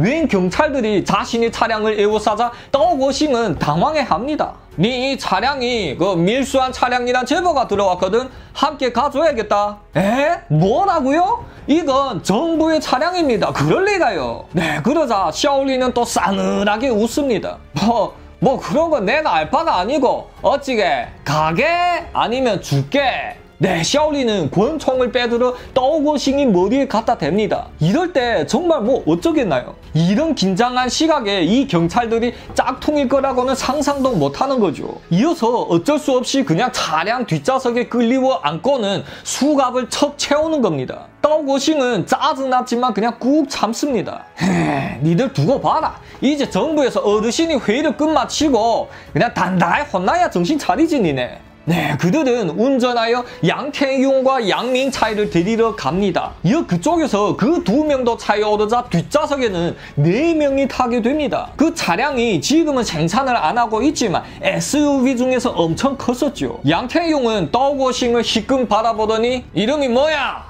하고 시작해서 그냥 신문을 진행합니다. 네, 어차피 죽일 건데 왜 이렇게 묻냐고요? 양태용은 철도 경찰입니다. 이놈은 형사가 그렇게 하고 싶었지만 못하게 됐으니 항상 이런 형사 노름을 했다고 합니다. 저기요, 이 차량은 정말로 형전부 차량이 맞습니다. 그 증거 자료들도 다 있고요. 또 좀 이따 어르신이 회의 끝나고 나오면 엄청 큰 일이 벌어질 텐데 이쯤에서 끝내는 게 어떻소? 네, 그러자 양태용은 하하하하 하고 그냥 미친 듯이 웃습니다. 그리고는 갑자기 얼굴이 싸늘해지며 어이, 니는 우리가 아직도 경찰로 보이니? 헐, 그제야 눈치 차린 떠오고싱은 수갑 채운 두 손으로 냈다 까려고 합니다. 네, 하지만 뒤에 앉아있던 차이고 리가 또 잽싸게 그 손을 꽉 잡아서 제압합니다. 이어서 양태용이 떠오고싱이 목을 꽉 조여서 숨을 거두게 합니다. 이번에는 밑에 부하들한테 먼저 위험을 보여주려는 거죠. 그 뒷좌석에는 차이고리도 있었는데요. 이놈은 이제 뭐 두 번째로 이런 짓을 하다 보니 그냥 뭐 아무렇지도 않았답니다. 심지어 그 떠고싱이 손가락에 끼고 있던 큰 금반지를 그냥 빼서 호주머니에 넣었답니다. 그리고는 또 그 차량을 수색하여 고급 면도날까지 챙겼다고 합니다. 이놈이 이거 적응을 해도 너무 빨리 적응하는 것 같죠. 특히 이 금반지는 나중에도 나오는데 그 호랑이 머리가 이 새겨진 엄청 큰 금반지였다고 합니다. 그들은 따오거싱이 시체를 한 말라버린 우물 안에 버렸다고 합니다. 하지만 하지만 말입니다. 시체를 버리고 그 차량에 앉아서 한참을 달리고 있는데요. 글쎄 그들 차량이 갑자기 출임 속을 향해 그냥 막 뛰쳐가는 겁니다. 뭐야 이건 곁에 조수석에 앉아있던 샤올린이 그나마 재빨리 운전대 방향을 틀고 이 브레이크를 밟아서 차는 겨우 멈추게 됩니다. 야 너 뭐야? 그제야 운전하던 그 조수광을 바라보니 이놈은 이거 얼굴이 그냥 하얗게 질려 있었고 또 손은 그냥 와들와들 떨고 있었답니다. 생애 처음으로 그런 광경을 보게 되니 그냥 제정신이 아니었던 거죠. 조수광아 조수광 너 정신은 못 차리겠니? 내 니들과 다시 한번 제대로 얘기한다. 우린 이제 다 같은 배를 탄 거다. 만약에 누가 실수를 해서 우리 몽땅 잡히재야? 그래도 내가 남겨놓은 100만 위엔이 있거든. 내 이미 그 돈으로 조치를 다 해놨는데 만약 우리가 잘못되면 그 니네 가족들도 모두 함께 잘못될 거다. 이제부터 한 명이라도 실수는 용납 못한다. 다들 알았니? 네, 그 샤오리는 역시 냉철하고 모든 건 다 계획적이었죠. 그렇게 조직원 다섯 명은 다시 한번 자신의 처지를 확실하게 깨닫게 됩니다. 사실 보게 되면 그 피해자들도 어쩔 수 없이 그냥 당할 수밖에 없었고 다른 조직원 다섯 명도 어쩔 수 없이 그냥 계속 진행하게 된 거였습니다. 그렇게 이번엔 뭐 차량도 빼앗아 오고 작전 성공이잖아요. 샤오리는 8천 위엔을 주고 그 SUV 차량이 발동기 번호와 그 차량 등록증을 신분증을 새로 바꿉니다. 그리고는 또 군용 차량 번호를 척 달고는 신명으로 가져갔답니다. 그 차량을 팔아본 돈은 19만 위엔이었는데 그 시대는 또 엄청난 돈이었죠. 뭐 돈도 돈이지만 심양이라면 그 이미 그 동북 아니잖아요. 차이권리는 그쪽에까지 갔으니 흥경강의 집으로 한번 다녀오겠다고 합니다. 사실 차이권리 집은요 엄청 가난했다고 합니다. 그리고 차이권리도 잘 알고 있었죠. 지금 자신이 걷고 있는 이 길은 돌이킬 수 없는 길이라는 거예요. 어쩌면 마지막일 수도 있겠는데 효도 좀 하고 싶었겠죠. 차이권리는 집으로 찾아가서 붙인 그 생, 뭐 생일 선물 겸 아까 빼 빼앗은 그 호랑이 금반지를 선물했다고 합니다. 와 이렇게 큰 금반지는 처음 본다 야. 잘골리 붙이는 그 호랑이 모양의 금반지를 끼곤 싱글벙글해서 그냥 입을 다물지 못했답니다. 아버지 이 아들이 밖에서 장사해서 대박 났습니다. 이거 뭐 생일 선물입니다. 네, 그 잘골이 부친뿐만 아니라 온 가족이 그냥 기뻐서 난리 났다고 합니다. 그리고는 또 부모님들 손에 몇천 위엔을 쥐어주고는 떠났다고 합니다. 네, 그들은 그 금반지가 어디서 어떻게 왔는지도 그냥 상상도 못했겠죠.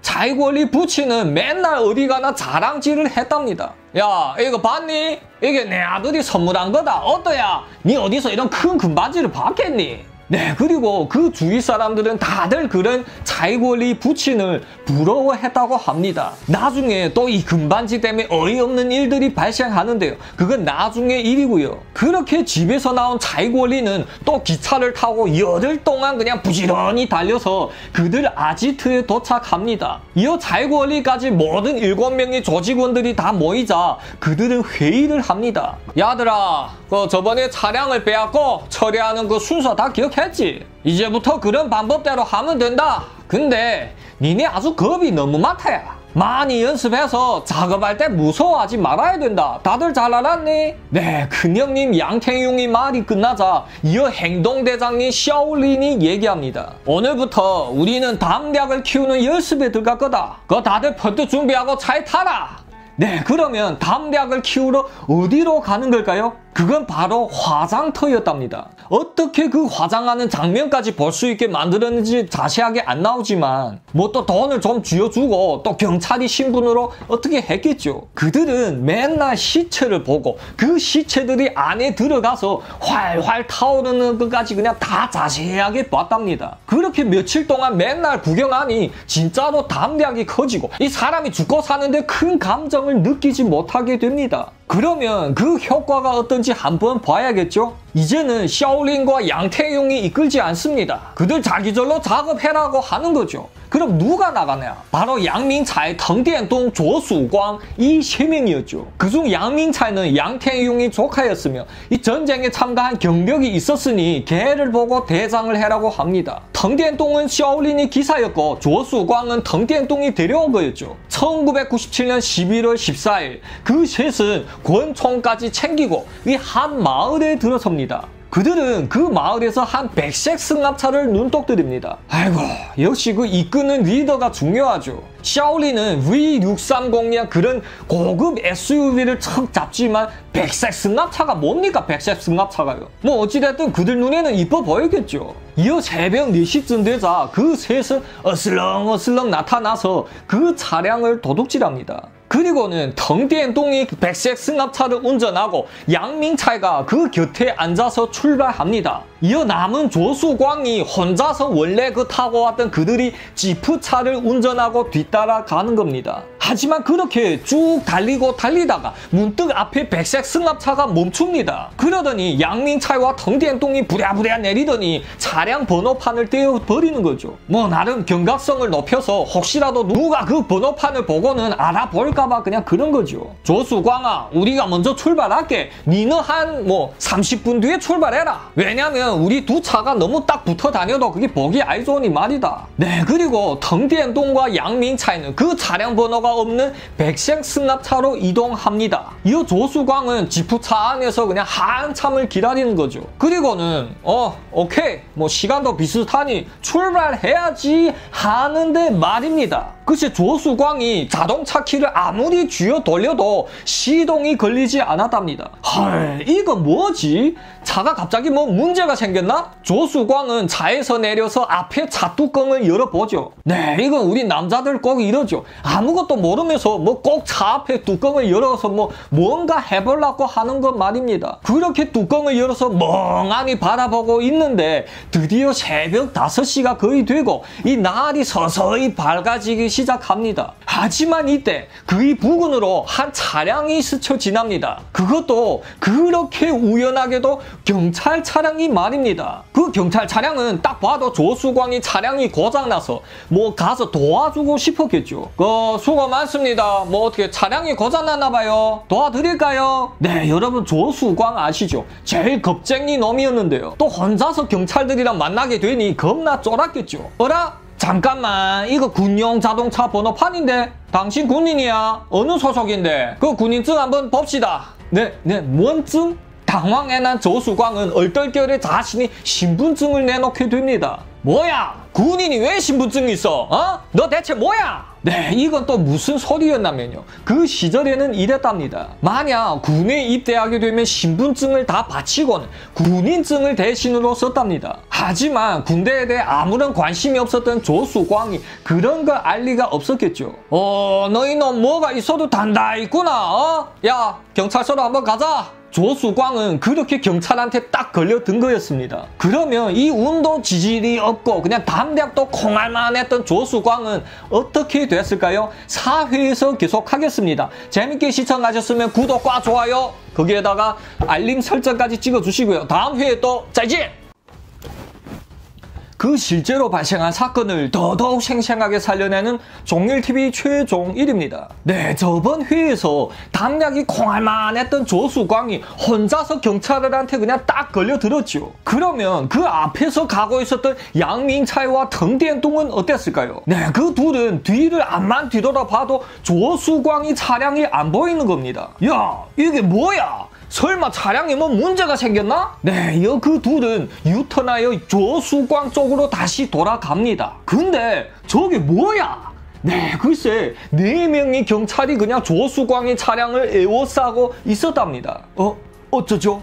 덩디엔통은 조수광이 뭐 사촌 큰 형이었지만 경찰들한테 쫄아서 선뜻 못 나섭니다. 내가 가서 너의 사촌 형을 구할게. 너는 빨리 운전해서 그 큰형님한테 가서 이 사실을 알려라. 빨리!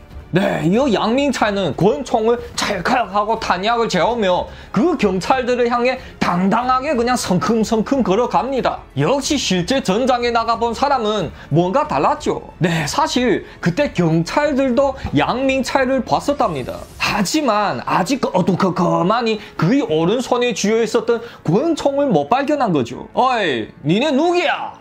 양민차가 먼저 당당하게 묻습니다. 이 경찰들은 우리? 우리 현지 경찰들이다. 근데 니는 누구야? 네, 그러자 양민차는 큰 소리로 니네 현지 경찰이니? 어? 그럼 나 우주 경찰이다 이놈들아! 라고 외칩니다. 저거 뭔 강아지 같은 소리지 하면서 자세히 보니 헐 저놈아 저거 권총을 잡고 있네? 그제야 분위기가 파기된 경찰들은 재빨리 허리춤에서 총을 잡았지만 빵빵빵빵 하고 그냥 네 방이 날아옵니다. 네, 이어 그중 세 명은 즉시 거꾸러지고 마지막 한 명은 잽싸게 몸을 피해서 살아남습니다. 그리고는 젖먹던 힘까지 다 해서 도망가는 거죠. 이어 양민차는 경찰은 뒤쫓으며 빵빵 하고 뭐 쏴보지만 헛수고였습니다. 그 경찰은 말 그대로 현지 경찰이었으니 길도 잘 알아서 갑자기 뭐 그냥 온데간데 없이 사라졌다고 합니다. 이젠 어쩔 수가 없었죠. 양민차는 다시 돌아와서 그 경찰들이 타고 온 덤프 트럭을 시동을 한번 켜봅니다. 부르릉 부르릉 네그 조수광의 차량은 이미 시동이 안 켜지니 이 덤프 트럭을 타고 그냥 갈 수밖에 없었죠. 이어 양민차와 조수광은 세구의 그 경찰들이 시체를 트럭 위에다가 겨우겨우 올리 싣습니다. 네, 그리고는 출발하고 그냥 마땅한 장소를 물색해서 시체들을 처리하려는 거죠. 그렇게 한참을 그냥 달리고 있는데 말입니다. 글쎄 뒤에 실었던 세구의 시체 중에서 하나가 벌떡 일어났답니다. 사실 그 경찰은 죽지는 않았었고 총상만 입은 상태였는데요. 그냥 살려고 죽은 척 했던 겁니다. 이제 슬슬 때가 되었음을 느낀 그 경찰은 강간 힘을 다해서 몸을 일으킵니다. 그리고는 달리는 차량에서 뒤 도로로 그냥 뛰어내리는 거죠. 하지만 하지만 말입니다. 이때 갑자기 차량이 발동이 꺼집니다. 그때 트럭들은 그렇게 뭐 시도 때도 없이 그냥 멈추는 경우가 많았었죠. 야, 야, 이 차도 아이 되겠다, 야. 이걸 버리고 우리 아까 그 지프 차로 돌아가자. 덩대 동이 큰형님 모시러 갔으니 아마도 마중 왔을 수도 있다. 그 둘은 트럭에서 내려서 뒤에 시체들을 그냥 힐끔 쳐다봅니다. 근데 헐, 글쎄 시체 하나가 없었던 겁니다. 아... 내가 왜 그때 확인 사살 안 했지? 순간 빡쳐버린 양민차에는 그 쇠로 된 꼬챙이를 찾아다가 남은 두 구의 시체를 그냥 탕탕 하고 내리깝니다. 그리고는 또 다시 트럭 뒤에서 내려서 다시 돌아가는데 말입니다. 헐, 글쎄 그 차량이 멈춘 곳에서 불과 몇백 미터도 안 되는 곳에 많은 양의 혈액들을 발견합니다. 그 경찰이 바로 그곳에서 뛰어내린 거였죠. 다시 말씀드리자면 그 경찰이 뛰어내리고 1분 1분도 안 돼서 그 트럭이 앞에서 멈췄으며 그걸 본 그 경찰은 또 죽을 힘을 다해서 곁에 풀숲으로 도망친 거였습니다. 어? 어떻게 쫓을까요? 네, 그 아무것도 모르는 텅디엔뚱이 또 짓거리는 거였습니다. 야, 쫓기 뭐 쫓아? 여기 사방이 다 풀숲인데 어느 방향으로 쫓아? 가자! 이미 늦었다. 네, 이 경찰은요 정말로 부싱 중도 완싱이라고 불행 중에서 또 갑자기 행운이 들여닥쳐서 그냥 목숨을 유지할 수가 있었답니다. 이어 양민찰과 덩디엔똥은 또 부랴부랴 자신이 그 지프차로 달려갑니다. 그러자 그곳은 이미 양태용이 와 있었죠. 양민찰은 또 전과를 자랑하고 싶었겠죠. 보고 삼천동무 제가 경찰 두 명이나 해치웠습니다. 어떻습니까? 네, 이 양태용은 어 그래 그랬구나 하고 그냥 서서히 다가오더니 양민차의 귀시아대기를 한대 날립니다. 야, 네 명 중에서 두 명이나 도망쳤는데 뭐? 어떻습니까? 그 둘이 조수광하고 네 얼굴을 봤을 거 아니야, 어? 근데 그걸 그냥 살려서 보내? 니들 아주 죽고 싶어 환장했구나. 아, 그제야 그들은 그 사태의 심각성을 느끼게 됩니다. 이어 그들은요, 그날 그 도둑질한 백색 승합차로 이 고장난 자신이 지프차를 뒤에서 밀어서 겨우 옮겼다고 합니다. 그리고는 자동차 수리소에 가서 뭐 수리를 마치고 재빨리 아지트로 도망갔답니다. 그러면 요번 사건도 그냥 이렇게 끝날까요? 그럴 리가요. 어림도 없죠. 양태용은 그날 날이 밝자마자 바로 그냥 지방경찰서로 달려갑니다. 뭐 평상시에도 일 때문에 자주 갔던 곳이니 그냥 다들 면목을 잘 알고 있었죠. 그러자 양태용은 그 경찰서에서 다음과 같은 소문을 듣습니다. 그 두 도망쳤던 경찰은 이미 둘 다 정신을 차리고 깨어났으며 지금 경찰들이 조사를 받고 있는다는 겁니다. 그리고 지금까지 알려진 바에 의하면 그 양민차에는 갑자기 나타났으니 그의 얼굴은 자세히 못 봤었는데요. 조수광의 얼굴은 너무나도 확실하게 기억한다고 합니다. 이미 그 초상화를 전문 그리는 사람 사람들을 찾아서 그들이 묘사한 대로 대략적인 초상화를 그리고 있는 중이랍니다. 야야 이거 큰일 났다 야. 양태용은 자신이 차량으로 또 부랴부랴 아지트에 찾아갑니다. 덩대동과 조수광 니네 둘 빨리 짐 싸라. 니네 초상화가 어느 중으로 나올 거고 그때는 니네 도망치고 싶어도 못 도망친다. 최대한 멀리 사라져서 이제 내 눈앞에 띄지도 말라 알았니? 그리고 잘 기억해둬라. 만약 경찰에 잡히면 어떻게 해야 되는지 알지? 니네 말 한마디에 니네 온 가족이 목숨이 붙어있다는 걸 잊지 말라. 네 그리고는 양민차이는 떠나지 않았답니다. 그 경찰 들이 그의 얼굴은 뭐 기억도 못했으니까요. 하지만 덩디엔동은 조수광과 함께 도망쳐야만 했죠. 그들은 친척 관계였으니 조수광을 또 찾다 찾다 덩디엔동한테까지 찾아올 게 뻔했으니 말입니다. 그 둘은 당일로 기차를 타고 운남성을 떠나 심천으로 갔다고 합니다. 왜냐하면 그쪽에서 홍콩으로 도망치려고 한 거였죠. 전에 동북 이왕이 그랬잖아요. 뭐 홍콩에 갔다가 미국으로 도망치려고요. 비록 동북 이왕은 그 전에 산 속에서 3만 명의 군대들에 에워싸서 죽었지만 덩디엔동과 조수광은 그래도 운수가 매우 좋았답니다. 그 둘은 심천에서 전문 홍콩으로 뭐 탈주를 도와주는 브로커들을 만나게 됩니다. 이 돈을 쥐어주니 그 브로커는 그 조수광과 덩디엔동을 데리고는 중국과 홍콩이 분계성 쪽으로 데리고 가는 거죠. 비록 홍콩은 중국 거였지만 그때나 지금이나 뭐 가고 싶으면 마구 가는 데가 아닙니다. 깡어 통신증이 라고 홍콩 마카오 뭐 통행증이 있어야 바로 들어갈 수 있었답니다. 그 둘은 높디 높은 분계선을 낑낑 거리며 겨우 넘어서는 이 산속을 통해 홍콩 쪽으로 넘어갑니다. 그리고는 또 그쪽 산속을 헤매고 헤매다가 끝내 도로 하나를 발견합니다. 아이고 야 살았다 야 그래 뭐 여기서 사는 것도 나쁠 건 없지. 아시아에서 제일 화려한 도시제야. 네 그 둘은 그렇게 싱글벙글해 하면서 한참을 걸어가다가 버스에 오릅니다. 왜냐면 다 같은 중국어를 쓰기에 그 글자들도 뭐 아무 문제 없이 그냥 읽을 수 있었겠죠. 그렇게 버스에 오르고는 덩디엔동이 맨 앞으로부터 세 번째 좌석에 앉았고 조수광은 맨 뒷좌석에 앉습니다. 이미 그 브로커로부터 홍콩 달러를 충분히 바꿨으니 버스비도 문제가 아니겠죠. 그렇게 기분 좋게 그냥 흔들흔들거리며 버스는 달렸고 그 둘은 눈을 좀 붙입니다. 너무나도 피곤했던 그 둘은 그냥 버스 안에서 코를 드르랑 드르랑 구르며 자고 있었죠. 이 시간은 얼마나 흘렀을까요? 버스는 그렇게 한참을 달리더니 또 갑자기 끽 하고 멈춰 섭니다. 어이 어이 아저씨 일어나봐 신분증 좀 보자. 에?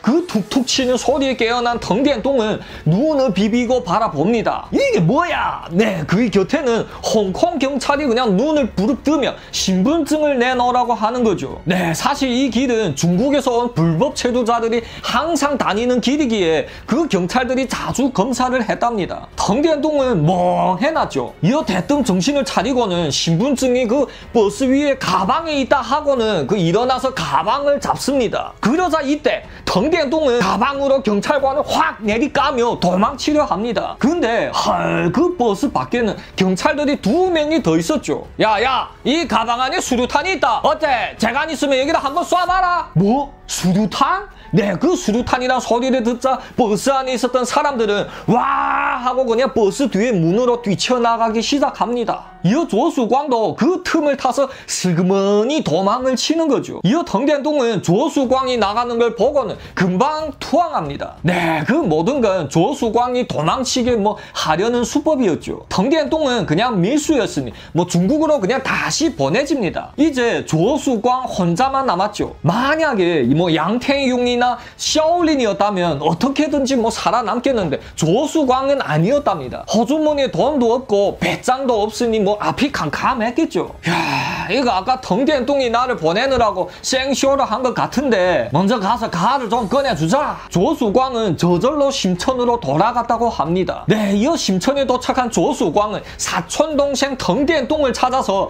그냥 감옥이랑 감옥들은 그냥 샅샅이 뒤지며 다닙니다. 보통 홍콩으로 밀입고 가다가 잡히게 되면 그냥 중국으로 다시 돌아가서 중국에서 감옥살이를 받는답니다. 그렇게 천신만고 고생 끝에 끝내 덩대똥을 찾아내게 되는 겁니다. 이어 그 둘은 만나자마자 그냥 부둥켜 안고 엉엉 울었답니다. 덩대똥 꼴이 말이 아니었죠. 전에 키 180에 우람진 몸매였던 덩대똥이 그냥 홀쭉해져서 얼굴이 반쪽이 되어 있었답니다. 그때까지 운남성에서 체포령 사진이 여기 심천까지 오기 전이었으니 별 큰 문제는 없었던 거죠. 그냥 사촌형 조수광이 보증인이 되고 덩대똥은 바로 풀려나게 됩니다. 그렇게 뭉치게 된 그 둘은 또 다시 홍콩으로 망명 가려고 합니다. 그 심천 쪽에서도 뭐 언젠가는 위험할 수 있으니 말이죠. 야, 저번에야 우리가 아무것도 모르고 어? 그쪽에서 버스 타니까 그런 게 아니야. 이젠 경험도 있고 하니까 요번에 잘 됐겠다 하며 그냥 두 번째 홍콩 밀입을 시도합니다. 하지만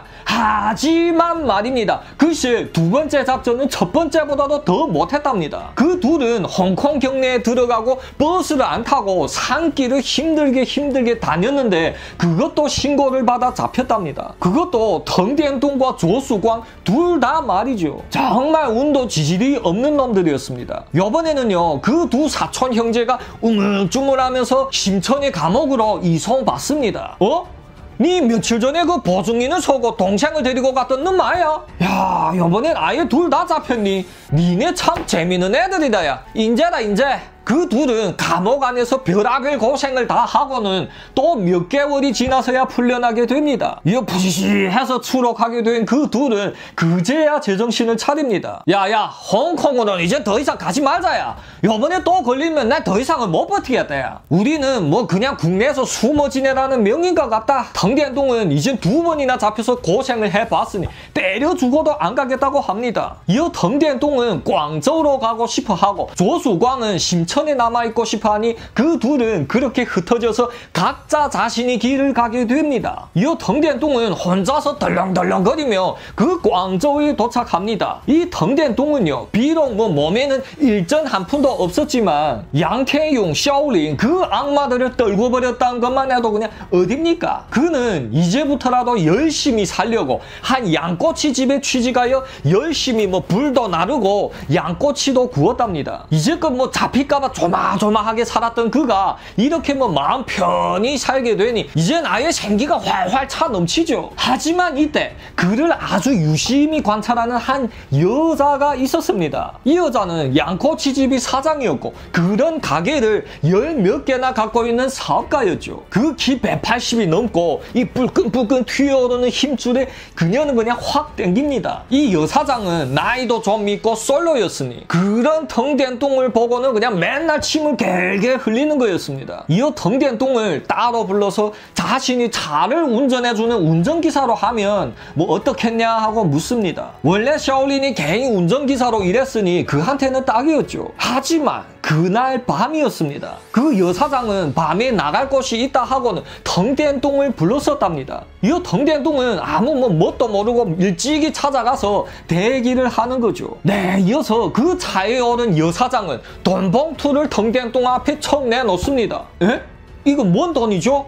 덩대동이 지금 멍해서 돈을 세어보고 있었는데 글쎄 여사장은 슬슬 덩대동이 바지 단추를 푸는 거죠. 네 그리고는 차량 안에서 철썩철썩이 시작됐고 덩대동은 그 여사장이 오리로 되어버립니다. 1997년에 오리를 했으니 이게 뭐 원조리가 아닐까요? 이어 이튿날부터 덩대동은 꿈에도 상상 못했던 그런 사치스러운 나날들을 보냅니다. 맨날 여사장을 따라다니며 고급 셔츠에 고급 양복 뭐 명품 시계까지 선물 받고는 또 밤에는 더더욱 열심히 뭐 여러 가지 자세로 힘을 쓰는 거죠. 그렇게 또 몇 개월이라는 시간이 흐르자 10만 위인이라는 거금도 받게 되었고 그의 생활은 그냥 달달하고도 달달했겠죠. 자 이거 이제 사고 친 지 반년이란 시간이 지났어도 조용한 거 보니 이래면 이 사건이 미제 사건으로 덮어진 거네. 맨날 똥만 열심히 치면 이 돈도 일이 많이 버는데 이런 꽃길이 어디 있겠니? 네 그리고 그때의 덩대한 똥은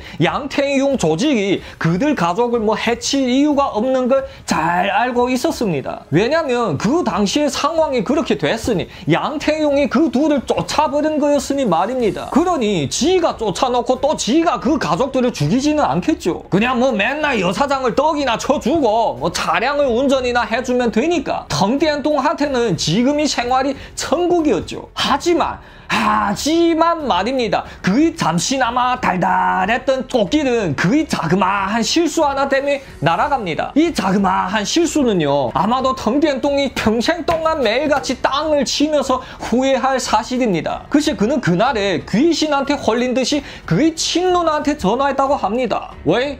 아 누나요? 그 어떻게 잘 지내요?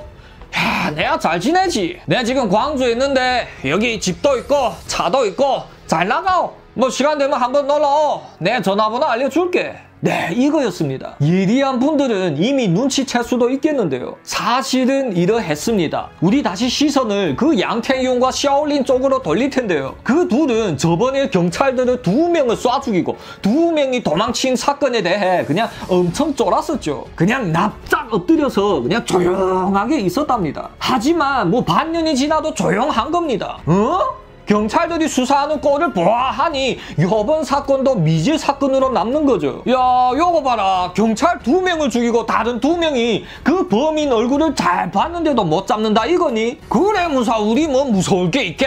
야들아, 애들 당장 모여라. 100만 원을 만들어야지.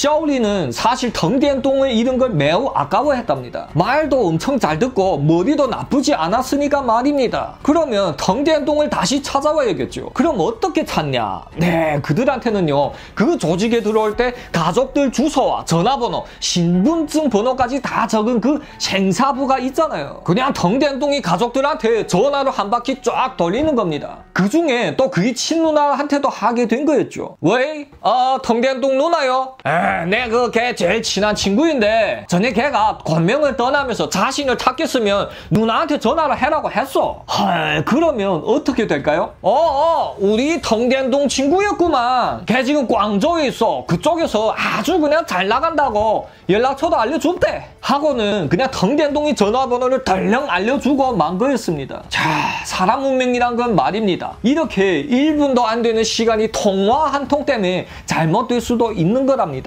이 샤올리는 바로 덩대동한테 전화하는 거죠. 그리고 덩대동은 또 그건 악마의 부름인지도 모르고는 덜컹 받아버립니다. 왜? 덩대동이니 내 샤올린이다.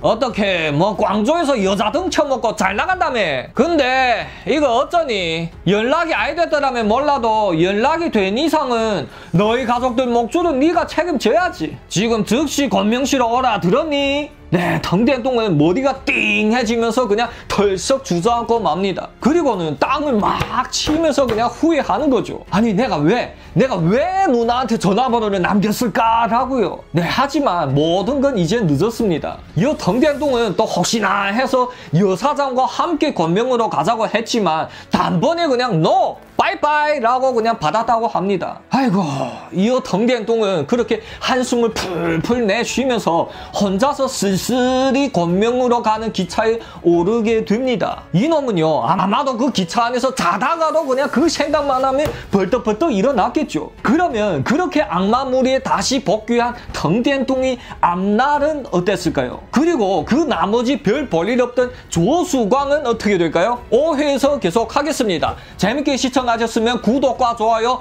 철썩철썩 박아주시고요. 다음 회에 또 짜이지!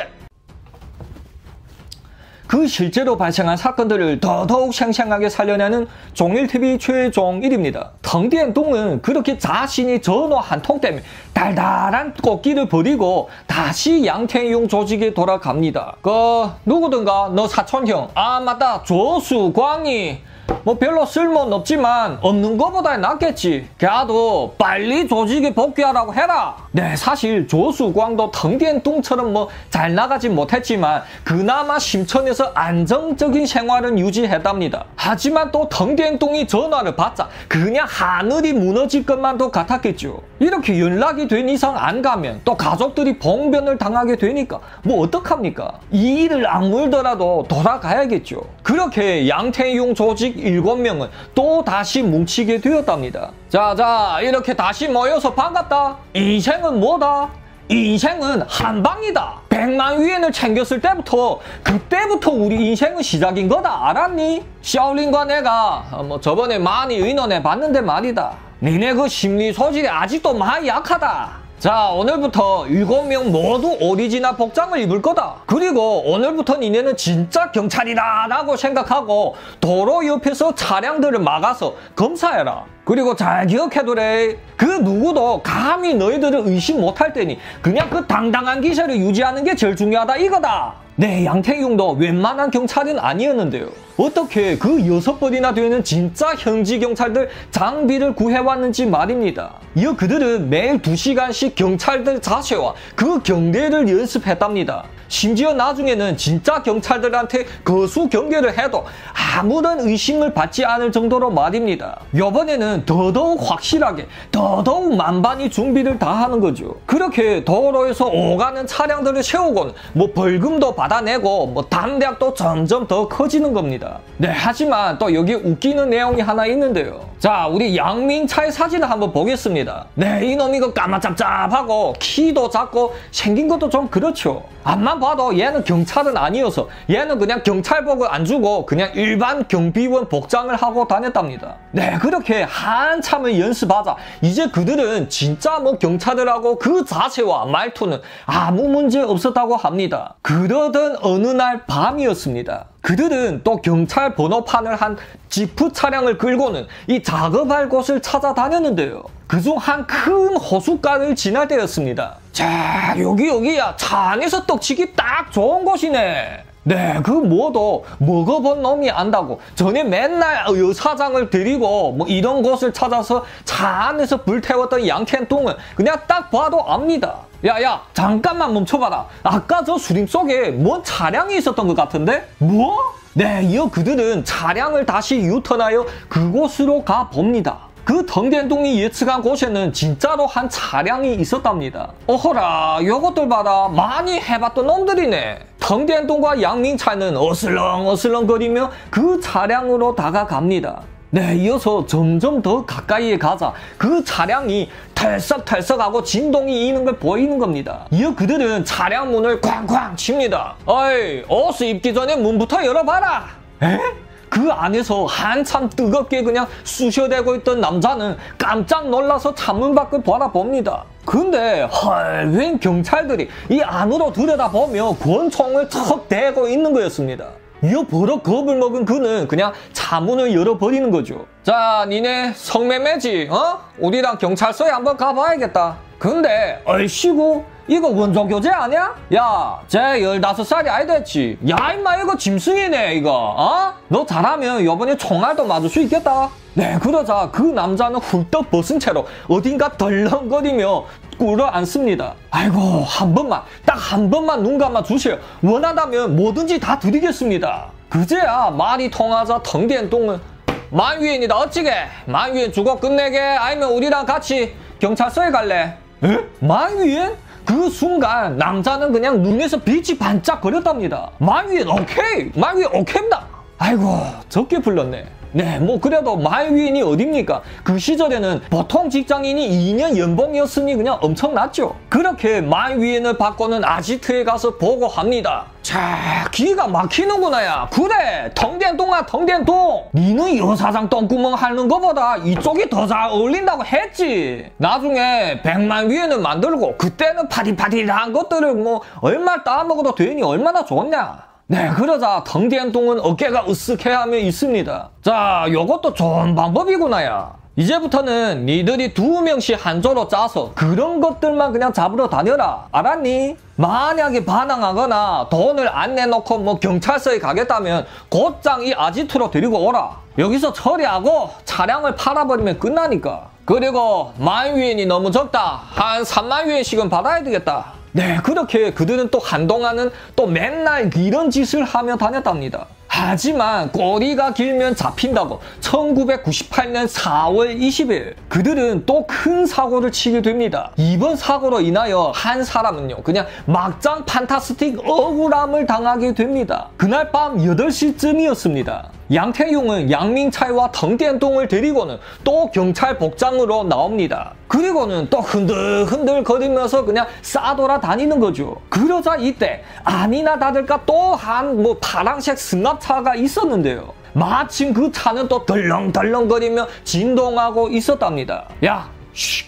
그들은 살금살금 다가가서 유리창으로 차 안을 들여다봅니다. 역시 그 차 안에서는 두 남녀가 그냥 벌거벗고는 한참 그냥 열심히 떡을 치고 있었죠. 그들은 한참을 재밌게 구경하고 있었는데 그중 여자가 그들을 발견하고 깍 하고 소리 지릅니다. 야 니네야 뭘 어디서 말 본 건 있다야. 됐고 뭐 어떻게 경찰서에 갈래? 아니면 뭐 돈을 내고 좋게 좋게 끝내게. 헐 요것들 봐라 그중 여자는 부다자를 껴입으며 야 니네 어느 경찰서인데 어? 국장이 누구야 니네 내 누군지 아니? 에? 그 분위기가 심상치 않았죠 어? 어? 니 누군데? 네 이어서 또 여자는 셔츠를 껴입으며 나? 맨날 니네 그 권명식 공안국 국장이랑 차를 마시는 사이다 너 경찰증 한번 보자 네, 순간 쫄게 된 양태용은 자신이 경찰증을 보여줬답니다. 네, 그 양태용은 진짜 경찰이었으니 경찰증이 있었죠. 어라? 철도 경찰? 철도 경찰 따위가 우리가 지금 볼일을 보는데 쳐들어와? 야, 니 나그네 누군지 아니? 이 권명식 공안국 부국장 왕주인 뭐다? 얘 신분 하나만으로도 니네들 옷 벗기는 거 그냥 문제도 아니다. 네, 그 말을 들은 양태용은 순간 그냥 머리가 띵해집니다. 아야, 잘못 건드렸구나. 하지만 또 다시 곰곰이 생각해보니 총을 지금 잡은 건 지들이고 없애버리면 끝이잖아요. 양태용은 권총으로 부국장 왕주인버의 머리를 겨누고는 몸을 훑어봅니다. 여헐 권총 한 자를 찾아내는 거죠. 와 위험했네 위험했어. 하지만 이때 곁에 앉아있던 여자는 핸드폰을 꺼내고는 어디다 전화를 하려고 합니다. 이어 쫙쫙 하고 양태용은 그 여자를 향해 귀싸대기를 날립니다. 야, 니 조용해라. 뭘 잘한 게 있다고. 네, 그러자 공안국 부국장은 니들 뭐 하는 거야? 어? 니들 진짜 경찰이 아니지? 라고 외칩니다. 아이고, 그걸 이제 알았니? 이어서 팡 하고 그냥 심장 쪽을 향해 한 방 날립니다. 아, 이것들이 이게 뭐 좋게 좋게 말하니까 아예 우리를 똥 물어보는구나. 야, 니 왕샤오샹이지? 어? 니네 누군지 알고 이러는 거야? 어? 뭐 하는 거야? 네, 그러자 양태용은 지금 한참 옷을 벗기며 허, 니를 모르면 권명식 경찰이 알지. 너 이쪽 넘버원이 첩이잖아. 근데 넘버포와도 이런 관계였니? 너 이제 보니 경찰 고층 간부들과는 뭐냐 다 그냥 성관계를 가지는 공용 화장실이었네. 경찰계의 유명한 퀸카. 아, 나도 전에부터 언젠가는 따먹고 싶었는데 오늘 집안로 찾아온 거네. 양태용은 그 여자를 가로타고 아까 금방 입었던 셔츠와 브라자를 그냥 찢기 시작합니다. 그리고는 입을 쥐어맞고 철썩철썩을 시작하는 거죠. 아하, 니네 이 맛에 차량 안에서 철석을 하는 거구나. 그래, 다음에는 누게 하게. 이어서 양민차이와 덩디안동까지 그냥 바꿔가면서 연달아 그 파닥파닥대는 왕샤오샹을 그냥 쑤셔댑니다. 이어 양태용은 또 그 부국장 왕진보의 권총으로 그 여자의 머리에 대고 쾅 하고 쏩니다. 그리고 또 양민차이는요. 이 허리춤에서 망치를 꺼내서 왕진보의 머리를 힘껏 팡팡 하고 쳐봅니다. 네, 또 저번에처럼 확인 자살을 안 한 걸 후회할까봐 서였죠. 이어 양태용은 그 승합차를 운전하여 한적한 곳에 갑니다. 그리고는 차 안에 자신들이 지문을 모두 지우고 네, 또 차량 안인 물건들을 챙길 것 챙기고는 떠 납니다. 네, 사실 이번 건에서 얘네가 챙긴 거라곤 권총 한 자루와 핸드폰 두 개, 그리고 카메라 한 대밖에 없었지만 그걸 위해서 글쎄 사람을 두 명이나 죽인 거였습니다. 겁이 없어도 웬만큼 없는 놈들이 아니었죠.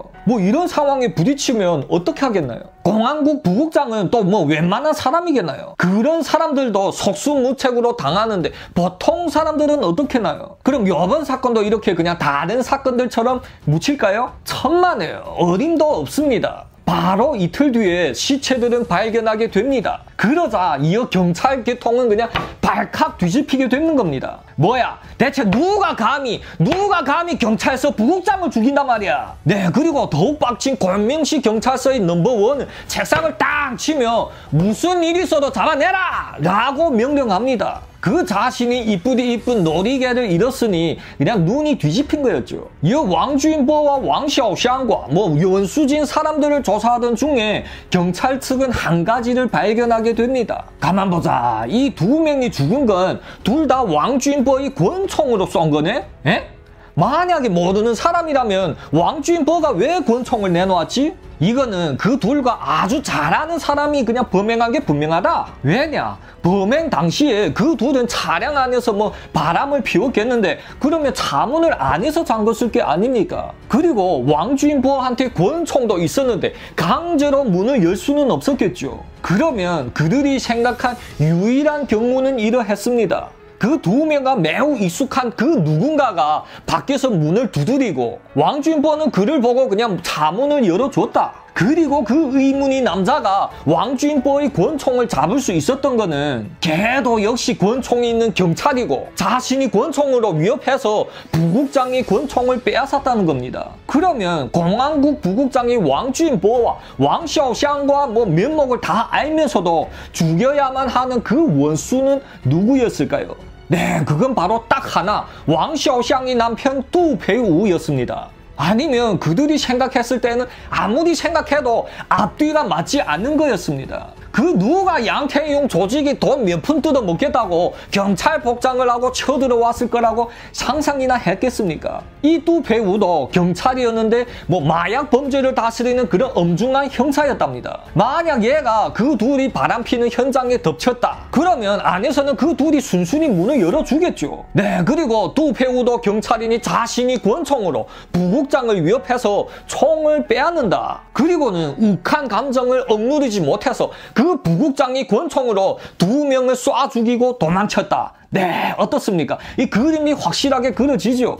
하지만 하지만 말입니다. 더더욱 기막힌 사실이 하나 있었답니다. 사실 경찰서 부국장인 왕준보와 또 배우는 그 대학교에서부터 한 반에 다녔던 동창이었다고 합니다. 그리고 더욱 중요한 거는 왕주인보는 또 배우가 생각하는 제일 신이 많은 친구였다고 합니다. 항상 뭐 무슨 고민이 있으면 서로 털어줬는 그런 사이였대요. 그리고 왕시오샹은 그들보다 하나년 아래인 후배였는데요. 학교 다닐 때부터 유명한 퀸카였고 그 졸업한 뒤에 권명시 경찰서에서도 미인 경찰로 그냥 아주 유명했답니다. 왜 그런 모든 방면에서 출중한 왕시오샹이 자기와 같은 뭐 평범한 남자와 결혼했나? 그게 또 배우한테는 제일 큰 고민이었답니다. 사실 또 배우는 그 왕시오샹이 경찰서 넘 버원이랑 맨날 뭐 바람 피는 사실을 알고 있었지만 뭐 어쩔 수 없어 그냥 참고 있었답니다. 그리고는 맨날 그 고민거리를 친구인 왕주인보한테 했다고 합니다. 자, 근데 기가 막히는 건 말입니다.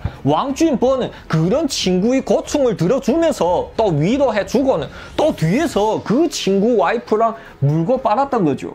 근데 왕샤오샹 이 여자도 참 이상한 게 있습니다. 대학교 때부터 쭉 두 배우와 연애를 하면서 이 뒤에서는 또 왕주인보와 바람을 피웠다고 합니다. 아니 그렇게 좋으면 둘이 결혼하지 왜 두 배우랑 결혼하고 또 뒤에서 허박씨를 깠을까요? 여기까지만 봐도 KBS 막장 드라마 같아 보이죠. 하지만 이제부터가 시작입니다.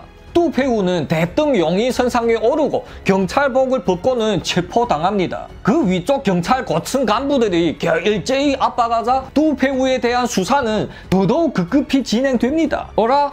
너 사건 발생 시간에 집에서 혼자서 공부를 했다고? 그럼 그걸 증명할 수 있는 사람도 없겠다. 오케이, 바로 이놈이구나. 야야, 죄를 승인할 때까지 쫓아라. 네, 사실 또 배우는 경찰 대대에서 그 활약이 매우 우수해서 승급 시험을 앞두고 있었답니다. 그 승급 시험을 통과하게 되면 얘도 과장에서 부국장으로 승급할 수가 있었답니다. 이어 그날도 열심히 공부를 했던 거죠.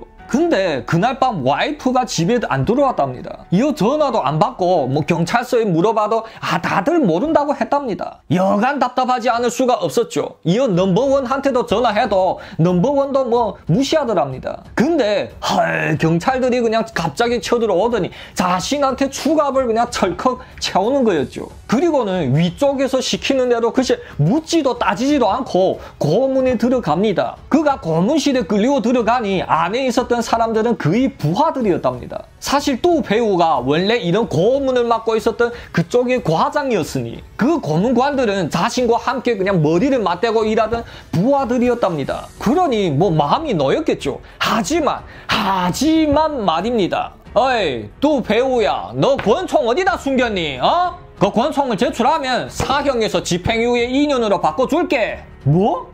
내가 한 짓도 아닌데 권총이 어딘지 내가 어떻게 아니? 네, 그러자 신문과는 얼굴색이 싸늘해집니다. 어이, 너 지금 예전에 우리 상관이라고 우리가 뭐 널 봐줄 것만 같니? 천만에다 야. 지금 저 제일 위쪽에 어르신이 대노했거든. 이 사건을 빨리 마무리 못하면 우리도 다 모가지다. 빨리빨리 말해라. 네가 왕준보와 왕쇼샹이 바람 피는 거 보니까 그냥 욱해서 죽인 건 맞지? 네, 그러자 두 배우는 아, 아니다. 내가 알았더라면 진짜 내가 죽일 수도 있겠는데 제일 중요하게는 나는 그 사실조차 모르고 이때까지 있었다는 거다. 네, 그러자 신문과는 그 도구들을 챙기며 말합니다. 과장님, 좀 좋게 좋게 얘기할 때 정신을 차리세요.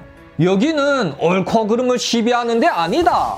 그 없는 죄도 시인해야 되는 그런 곳이다. 왜? 네가 맨날 하던 이들은 네가 까먹니? 어? 그래도 말아야게. 오케이, 네 아이 되겠다. 네 전에 맨날 다른 범죄자들한테 했던 고문을 오늘 네 한번 당해봐라. 네, 이어서 그 고문이 시작됐는데요. 뭐 얼굴을 위로 하고 수건을 덮어놓고 물을 붓고 뭐 고추물을 붓고는 또 두 배우의 두 팔을 벌려서 매달아 놓습니다. 네, 이 자세는 영화에서 자주 나오는 자세인데요. 이 팔을 모아서 매달아 놓으면 고통이 덜한답니다. 하지만 만약 그 두 팔을 벌리고 이 발이 땅에서 떨어지게 매달아 놓으면요. 우리가 그냥 상상도 못하는 엄청난 고통이 온다고 합니다. 그리고 또 그들이 쓰는 이런 고문은 아무런 흔적도 안 남고요. 사실 전에 또 배우가 다른 죄수들한테 이런 고문을 시킬 때는 그 고통을 상상도 못했겠죠. 오케이, 내가 죽인 건 맞다. 그러니 빨리 나를 내려주고 시원시원하게 총알을 하나 쏴달라. 야, 이거 야 힘들어서 못 살겠다 야. 네, 그러자 그 고문관은 또 쓴 웃음을 짓습니다. 알지, 알지. 네가 했다면 한 게 아니고 제대로 된 진술서를 만들어야 되자야. 아니, 네가 맨날 해왔던 일이잖아. 잘 알면서 왜 이러시나?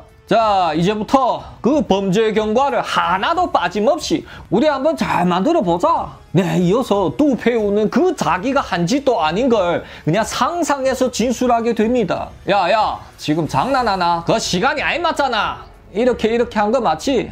네, 그러자 또 배우는 이제 제정신이 아니어서 아, 네, 네, 제가 기억을 잘못했네요. 바로 그렇게 한 건 맞습니다요. 네, 이렇게 고문관이 사실을 알려주면서 잊지도 않은 진술서를 만들어내게 됩니다. 아, 그럼 마지막에 권총은 권총은 어디다 둔 거야? 에, 권, 권총?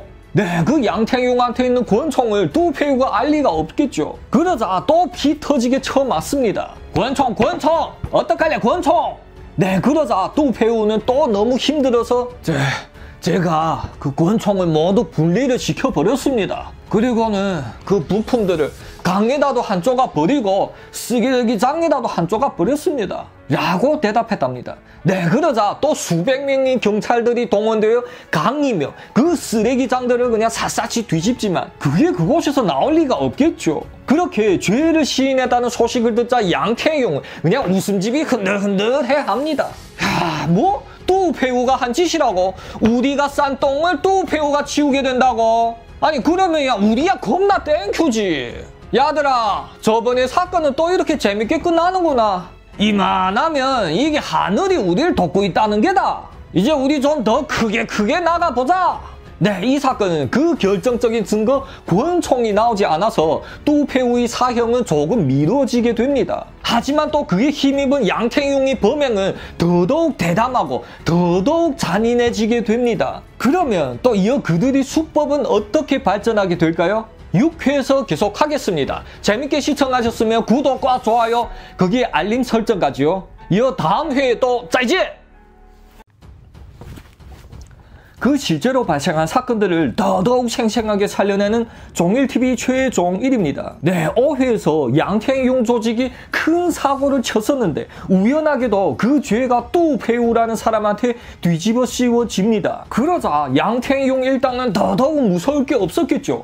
이제 뭐 작업하는데 재미를 붙인 양민차이와 덩디엔동은 맨날 또 나가서 설치다가 또 사고를 칩니다. 1998년 6월 9일 그 둘은 지프차를 끌고 또 어슬렁어슬렁 거리며 먹잇감을 찾아 나섭니다. 어라? 야 저거 봐라 저기 양민차가 가리키는 곳을 바라보자 그냥 아찔하게 차려입은 한 아가씨가 엉덩이를 그냥 삐죽삐죽 거리며 걸어가고 있었답니다. 그 다 환하게 드러내놓고 얇디 얇은 천조각으로 그냥 몸을 대충 가리운 걸 봐서는 그냥 딱 봐도 창녀였죠. 그들은 지프차를 그 여자 곁에 세우고는 어이 얼매요 라고 묻습니다. 한 사람당 52엔이요.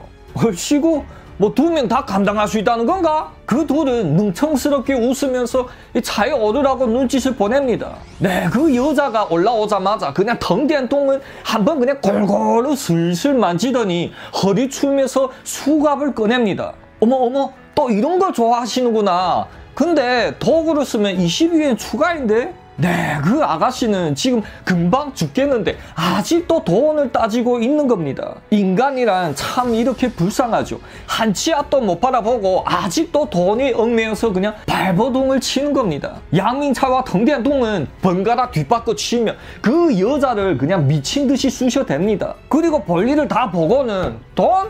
얘다 네, 그 벌거벗은 여자의 몸에다가 그냥 300 위엔을 뿌려줍니다. 와, 이리 많이 대박! 그 아가씨는 옷도 못 챙겨 입고 그냥 웅크리고 앉아서 돈을 줬습니다. 어이, 그리고 이건 보너스다. 에? 아가씨가 머리를 들어보니 덩디엔통이 망치를 잡아들고 그 아가씨를 째려보고 있었습니다. 이어서 퉁 하고 그냥 내리까니 아가씨는 그냥 비명 한번 못 지르고 멍해집니다. 또 이어서는 그 아가씨 머리채를 잡아서 퉁퉁 하고 그냥 내리까는 겁니다. 이어 불쌍한 그 한 생명은 또 그렇게 끝을 맺는 거죠. 양민차는 지프차를 운전하여 한 강가에 가서 그냥 그곳에 버렸다고 합니다. 그리고는 그 아가씨 가방을 뒤졌는데 말입니다. 헐, 그 가방 안에는요, 립스틱 하나에 이 머리 빗 하나, 그리고 손거울 하나에 신분증 하나가 그냥 달랑 있었답니다. 그리고 또 돈은 얼마나 있었냐면요. 안에는 10전이 있었답니다. 네, 이 10전이 한화로 얼마냐면요. 17원이요. 기가 막히죠. 한화 17원 때문에 사람 목숨이 날아간 거였습니다. 이어 그 소식을 듣자 양태용은 빡칩니다. 야, 니네 일로 와봐라. 이어 양탱이용은 양민차와 덩대동한테 주먹을 날립니다. 어이, 우리가 지금 장난하고 있니? 어? 다들 뭐 지금 여자나 따먹으려고 이러고 있니? 니네 다 잘 들어라. 다음에 누가 수입에 도움도 안 되는 사고를 치면 내가 그때 그놈부터 먼저 죽여버려야겠다. 다들 잘 알았니? 네, 그러자 그 부하들은 다들 그냥 얼었었죠. 그, 그럼 형님, 어떤 방식으로 작업할까요? 이어 양태용은 그 덩대동이 만들어낸 거 있잖아. 그 방식은 말이다. 지금 이 경찰들이 때려 죽여도 못 잡는다. 근데 그 방식에서 조금 더 업그레이드 해야 되겠다. 거기서 그냥 조금만 업그레이드 하면 그냥 쥐도 새도 모를 수 있거든. 네, 양태용은 혼자서 상상을 하면서 흐뭇해하고 있습니다. 그러면 과연 어떤 수법이었을까요? 1999년 3월 6일 밤 9시였습니다. 양태용은 덩대동과 조수광을 데리곤 그 작업할 목표를 또 찾아 다닙니다. 그러다가 그들은 한한 고급 세단을 눈독 들이는 거죠. 이 차량은 니산 꿈죄 왕이라고 불렀는데 니산 차량이 그 당시 최고 모델이라고 보시면 됩니다. 이 고급 세단 차량은 또 거기서 조금씩 조금씩 진동을 하더랍니다. 이어 또 문을 탕탕 두드리는 거죠. 야야 경찰이다. 빨리 그 넣었던 걸 바로 빼고 문이나 열어봐라. 에?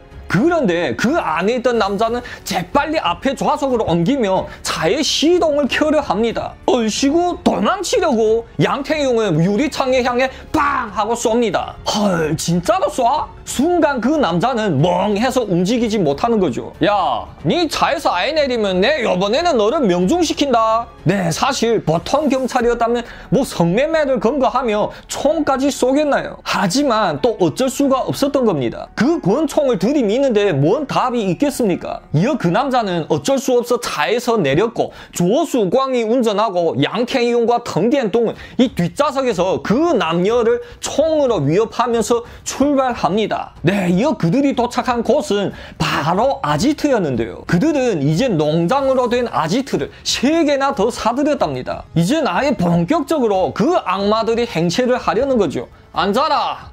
그 남자와 여자는 수쉐와 족쇄까지 차고 어두컴컴한 농장 안에 앉혀놓습니다. 그리고는 자 니네 이름이 뭐야? 나이는?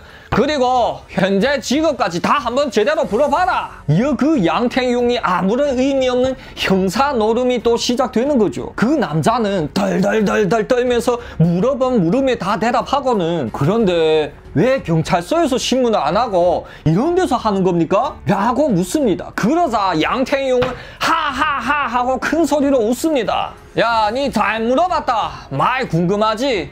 여 가까이 오라. 네, 이어 그 남자가 양태용한테 가까이 귀를 대자 왜냐면 우리는 경찰이 아니거든 라고 대답합니다. 에? 너무나도 놀라 다리가 풀린 그 남자는 그냥 털썩 주저앉습니다. 네, 그러자 양태용은 척 일어서더니 뒤에서 그 덩대동이 전해주는 곡괭이를 받고는 그 남자를 째려봅니다. 살려주세요, 제발! 그 남자가 두 번째 말을 하기도 전에 곡괭이로 쿡 내리찍습니다. 그리고는 또 연속 쿡, 쿡 하고 그냥 곡괭이질을 해대는 거죠. 이미 그 남자의 피는 10m까지 뛰었고 양태용과 그 곁에 앉아있던 여자의 온몸은 그냥 시뻘겋게 물들어 있습니다. 사실 그 여자는 너무나도 놀란 나머지 그냥 컥컥 하고 그냥 목이 메어서 울부짖지도 못했답니다. 야 이 여자를 따먹고 싶은 사람 네, 그 온몸이 피투성리의 제정신도 아닌 여자를 누가 하고 싶겠나요? 다들 없지? 오케이! 양태용은 발로 여자를 콱 차서 엎어뜨립니다. 그리고는 그녀의 머리통만 그냥 구두발로 그냥 마구 밟아 놓는 거죠. 그리고는 이어 또 그 여자의 목을 꽉 밟아서는 아득바득 거리는 그 여자를 그냥 질시시켜 죽입니다. 이미 제정신이 아니었던 그 여자는 그냥 소리 한번 못 지르고 발악 한번 제대로 못 해보고 죽는 거죠. 그러면 이렇게 그냥 끝날까요? 아직입니다. 제가 1회에서 이놈들은 그냥 무서 무서운 악마 같은 놈들이라고 했죠. 샤올리나, 그 준비한 거 갖고 오라. 에? 사실 그때까지만 해도 그 업그레이드 됐다는 그 수법을 다른 조직원들은 몰랐습니다. 이어 샤올리는 큰 대야들을 대여섯 개 갖고 왔는데 그리고 그 대야 안에는 톱과 도끼 그리고 돼지 잡는 칼들이 있었답니다. 네 이제 어떻게 슬슬 느낌이 옵니까? 이놈들 대체 뭘 하려는 건지 양민차야 너 시골에서 돼지를 많이 잡았다며 와서 거두더라 양태용은 지금 톱으로 그 시체들을 드르륵 드르륵 하고 썰며 얘기를 하는 겁니다. 양민차는 그 장면을 보고는 그냥 털썩 주저앉으며 바지에 지렸다고 합니다. 그 돼지 자비와 인간이 시체를 토막내는 건 또 다른 차원이죠. 다른 조직원들도 그 장면을 목격하고는 그냥 와들와들 떨면서 정신을 못 차리더랍니다. 하지만 양태용과 샤오리는 뭐 아무렇지도 않게 드르륵 드르륵 뭐 톱질하고는 또 이어서 콱! 콱 하고 또 도끼질을 했답니다. 그렇게 한참을 그냥 뚝딱뚝딱 거리자 두 구의 시체는 대여섯 대야의 고기 덩어리로 분해됩니다. 사, 삼촌, 이 어, 어떻게 해요? 양태용이 조카 양민차이가 얼버무리면 물어보자 양태용은 수건으로 얼굴에 피를 닦으며 말합니다. 그 대가리는 따로 끓이고 다른 토막들은 한 대에 넣어서 푹 끓여라. 그리고 그 뼈와 고기가 다 떨어져 나갈 때까지 말이다. 이어서 그 대가리를 끓였던 가마 안에서는 머리카락을 잘 걷어내고 고기는 농장의 개와 돼지한테 먹여라 알았니? 네, 양민차는 그런 양태용이 삼촌도 아닌 것 같아 보였지만 인간이라는 느낌도 안 들었겠죠. 그, 그, 그러면 뼈다구는 어떻게 할까요? 그러자 양태용은 또 발끈합니다. 뭐? 뼈다구? 그런 사소한 것까지 내 다 일일이 알려줘야 되니? 그 뼈다귀는 싹 다 뭉개서 분말을 내서 어장의 물고기들한테 주면 되잖아. 네, 이제부터 시작해서 그들이 살인들은 다 이렇게 시신을 처리하게 됩니다. 그러니 의심을 받을까봐 농장을 세 개를 사들여서 서로 엇바꿔서 뭐 시체들을 처리하는 거죠. 왜서 굳이 이 정도까지 했을까요? 나중에 그 양태용을 신문한데 의하면 이랬답니다. 이놈은 자기가 경찰이니까 한 가지를 너무나도 잘 알고 있었대요. 그것은 바로 사건을 저지르고 이 남아있는 시체가 가장 유력한 단서였기 때문이죠. 만약 시체가 안 나오게 되면 그냥 뭐 실종 사건으로 처리되지만 시체가 발견되는 순간 형사 사건으로 분리되면 그냥 대대적인 수사에 들어가니까요. 그리고 또 두 번째 목적이 있었는데 그것은 바로 그들이 부하들이 너무나도 겁이 많고 나약했으니까 뭐 걔네를 단련시키려고 그랬답니다. 그러면 이제 뭐 차량을 처리해서 수입을 얻어야겠죠. 이어 덩대동과 조수광이 얘기합니다. 큰형님, 이 차량은 웬만한 사람들이 중고로 구입할 수 있는 게 아닙니다. 이 차량을 대련에 가서 팔아보면 어떨까요? 그곳은 이곳 운남성에서 제일 멀리 떨어져 있고 또 그쪽에 돈도 엄청 많은 도시니 아마도 이 차량을 제일 좋은 가격에 팔 수 있을 겁니다. 네, 그러자 양태용은 한참을 들어보더니 그래, 그것도 뭐 나쁠 건 없네. 가서 잘 팔아와라. 그러면 뭐 요번에 수익금을 나눌 때 너네들은 내 목숨 좀 더 챙겨줄게. 아이고 감사합니다 큰형님. 그럼 우리 지금 즉시 출발할게요. 그렇게 그 둘은 고급 세단을 운전하고 대련으로 출발합니다. 허, 양태용이 지가 아무리 똑똑한 척해도 내 기회라고는 눈치 못 채지. 덩대동은 운전을 하면서 흐뭇하게 얘기합니다. 그래 그래 동생아 아주 잘했다 야. 저것들은 인간이 아니고 악마다 악마. 저런 것들은 그냥 아주 멀리 그냥 멀리 떨궈버리는 게 상책이다. 네, 그 둘은 양태용이 그 악마 같은 모습을 보고는 아주 그냥 치를 떨면서 두 번째로 탈출을 시도한 거였습니다. 그리고 또 그냥 도망치면 또 돈이 없잖아요. 하지만 이 고급 세단을 처리할 때를 찾자 그들이 그냥 금방 나서는 거죠. 그 차량을 팔면 그냥 꽤 많은 목돈을 챙길 텐데 그리고 그것으로 숨어 지내려는 거죠. 그렇게 그 둘은 콧노래를 흥얼흥얼 거리며 그 양태용 방향으로 빠이빠이를 외치며 신나게 달리고 있습니다. 네, 그 계획은 매우 깔끔하고 완벽했었습니다. 하지만 그 둘은 저번에 홍콩에서도 보시다시피 운수가 아주 똥이었습니다. 그 둘은 산서성의 한 검문소에서 잡혔답니다. 그 차량이 문제가 있다고요. 뭐 차량 등록증도 없었고 운전면허증도 뭐 집에 두고 왔다고 구라치니 차량을 그냥 압류했던 겁니다. 이어 그 두 명도 잡힐 뻔한 걸 그냥 가까스로 도망쳐 나왔답니다. 야 이제 어떡하지? 돈이 나올 구석도 없고 어? 조수광은 울먹울먹거리며 사촌 동생 텅빈 똥을 바라봅니다. 뭐 이렇게 된 이상 어찌겠어? 조직으로 돌아가기요. 네, 그렇게 그 둘은 그냥 푸시시 해서 양태용 조직으로 복귀했답니다. 만약에 이때까지만 해도 돈의 욕심을 부리지 않고 멀리 멀리 도망쳤더라면 훗날 뭐 잡혀서 총알을 먹지는 않았겠죠. 참 매번 그놈이 백만 부자의 욕심이 사람들을 망치게 하는 겁니다. 요번에는 지발로 찾아간 거였으니 얘네도 이제 눈 깜빡하지 않고 그냥 시체를 마구 뜯어버리는 악마로 변하게 됩니다. 그 래? 압류당했어. 오케이.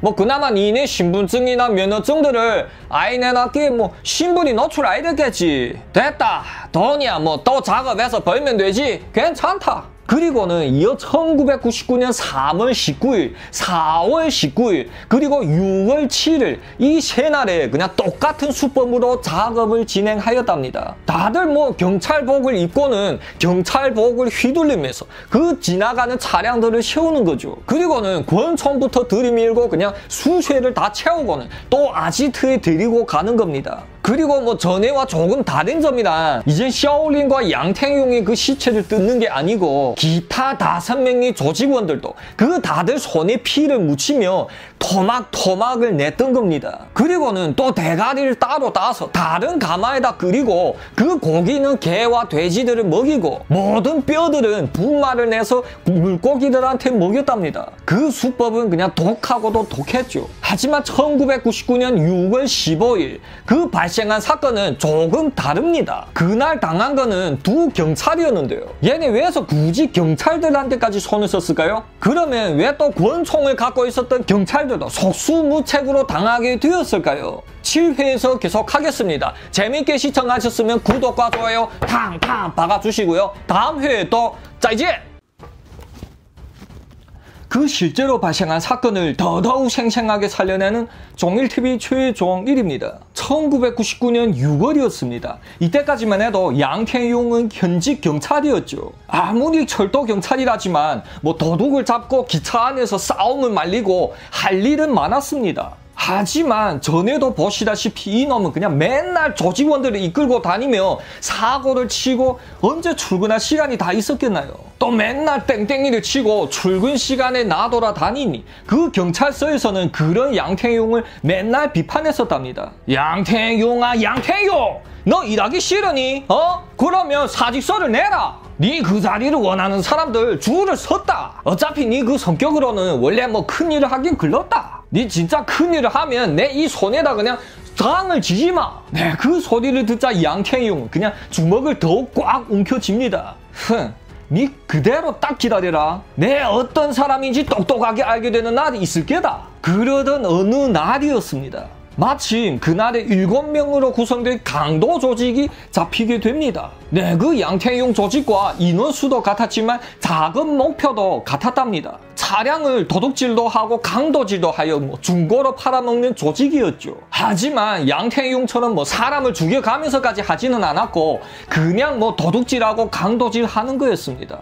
그들이 잡힌 그날 밤 마침 그날 야간 근무는 양태용이 몫이었대요. 양태용은 그 일곱 명한테 수갑을 채워서 이暖气팬에다 고정시켜 놓습니다.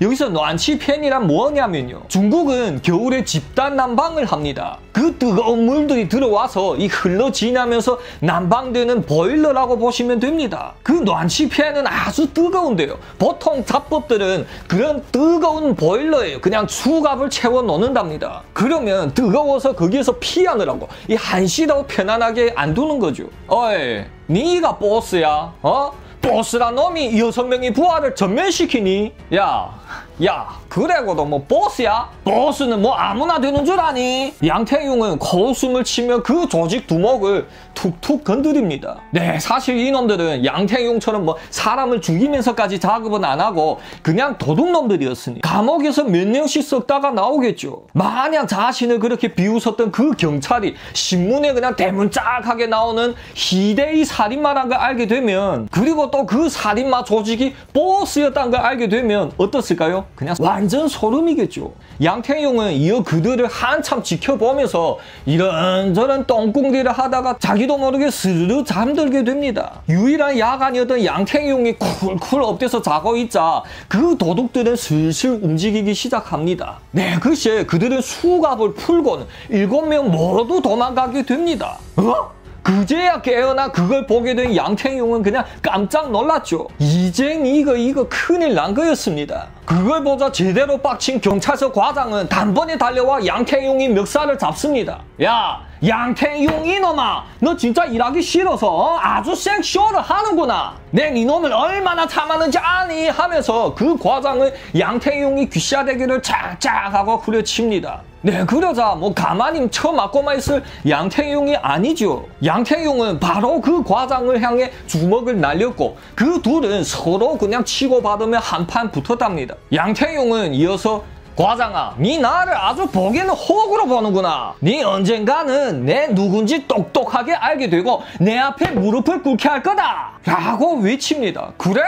좋다야. 뭐 재간 있으면 언제든지 그래 봐라. 근데 네 누군지는 잘 알고 있지. 이젠 경찰서에서도 제명이 되고 감옥 개통으로 출발당할 놈이지. 어디 그 감옥 경찰을 하면서 멋있게 나를 한번 굴려봐라. 결국 양태용은 그렇게 철도 경찰에서도 잘려서 감옥 경찰로 안배받습니다. 사실 정규한 경찰서 밑에는 철도 경찰이 있었다면 또 그 밑에 등급에는 감옥 경찰이 있었습니다. 그 감옥 경찰까지 내려간 이상 다시 올라가려면 그냥 꿈도 못 꾸겠죠. 그 소식을 듣자 양태용 일단 그냥 하하하 하고 웃습니다. 아니 큰형님 감옥 경찰도 줬어. 언제 우리가 잡혀 들어가면 이 큰형님이 눈만 한번 찔끔 감으면 우리 다 나올 수 있죠. 네 그러자 양태용은 책상을 딱 하고 치며 째려봅니다. 야 다음 목표 우리 경찰서 과장이다. 그놈이 아주 나를 보기에는 아주 뭐처럼 보고 있더라야. 샤올리나 네 작전을 잘 짜서 그놈을 산채로 잡아서 그냥 내 앞에 데리고 와. 네, 그렇게 양태용은 자신이 상관인 그 과장이 퇴근 시간과 생활 패턴을 자세히 알려줍니다. 사실 그 경찰 과장이 와이프도 경찰이었는데 함께 그냥 개인 차량으로 출퇴근을 했었답니다. 뭐 개인 차량이니 그들한테는 겁나 쉬웠겠죠. 그들 모두는 경찰복을 쫙 빼 입고는 그 차량이 지나는 길목을 막는 겁니다. 이어 저 멀리서 경찰 과장이 차량이 오게 되자 경찰봉을 흔들어서 세웁니다. 아, 아 우리 경찰이다. 네 이 차량이 도둑질한 차량이란 신고가 들어와서 우리랑 함께 한번 가봐야 되겠다. 텅대동이 경례를 멋있게 척하고 얘기하자 그 경찰 과장도 아무런 의심을 안 했다고 합니다. 뭐? 그 무슨 오해가 있었던 것 같은데 우리도 경찰이요. 나 바로 이 지방경찰서 과장인데 쟤네는 누구요? 그 경찰서 과장은 자신이 경찰증을 줘봤지만 텅대동은 그걸 보고는 에, 그 요즘에 이런 거 이런 거 짝퉁으로 만들어준 데도 있다며.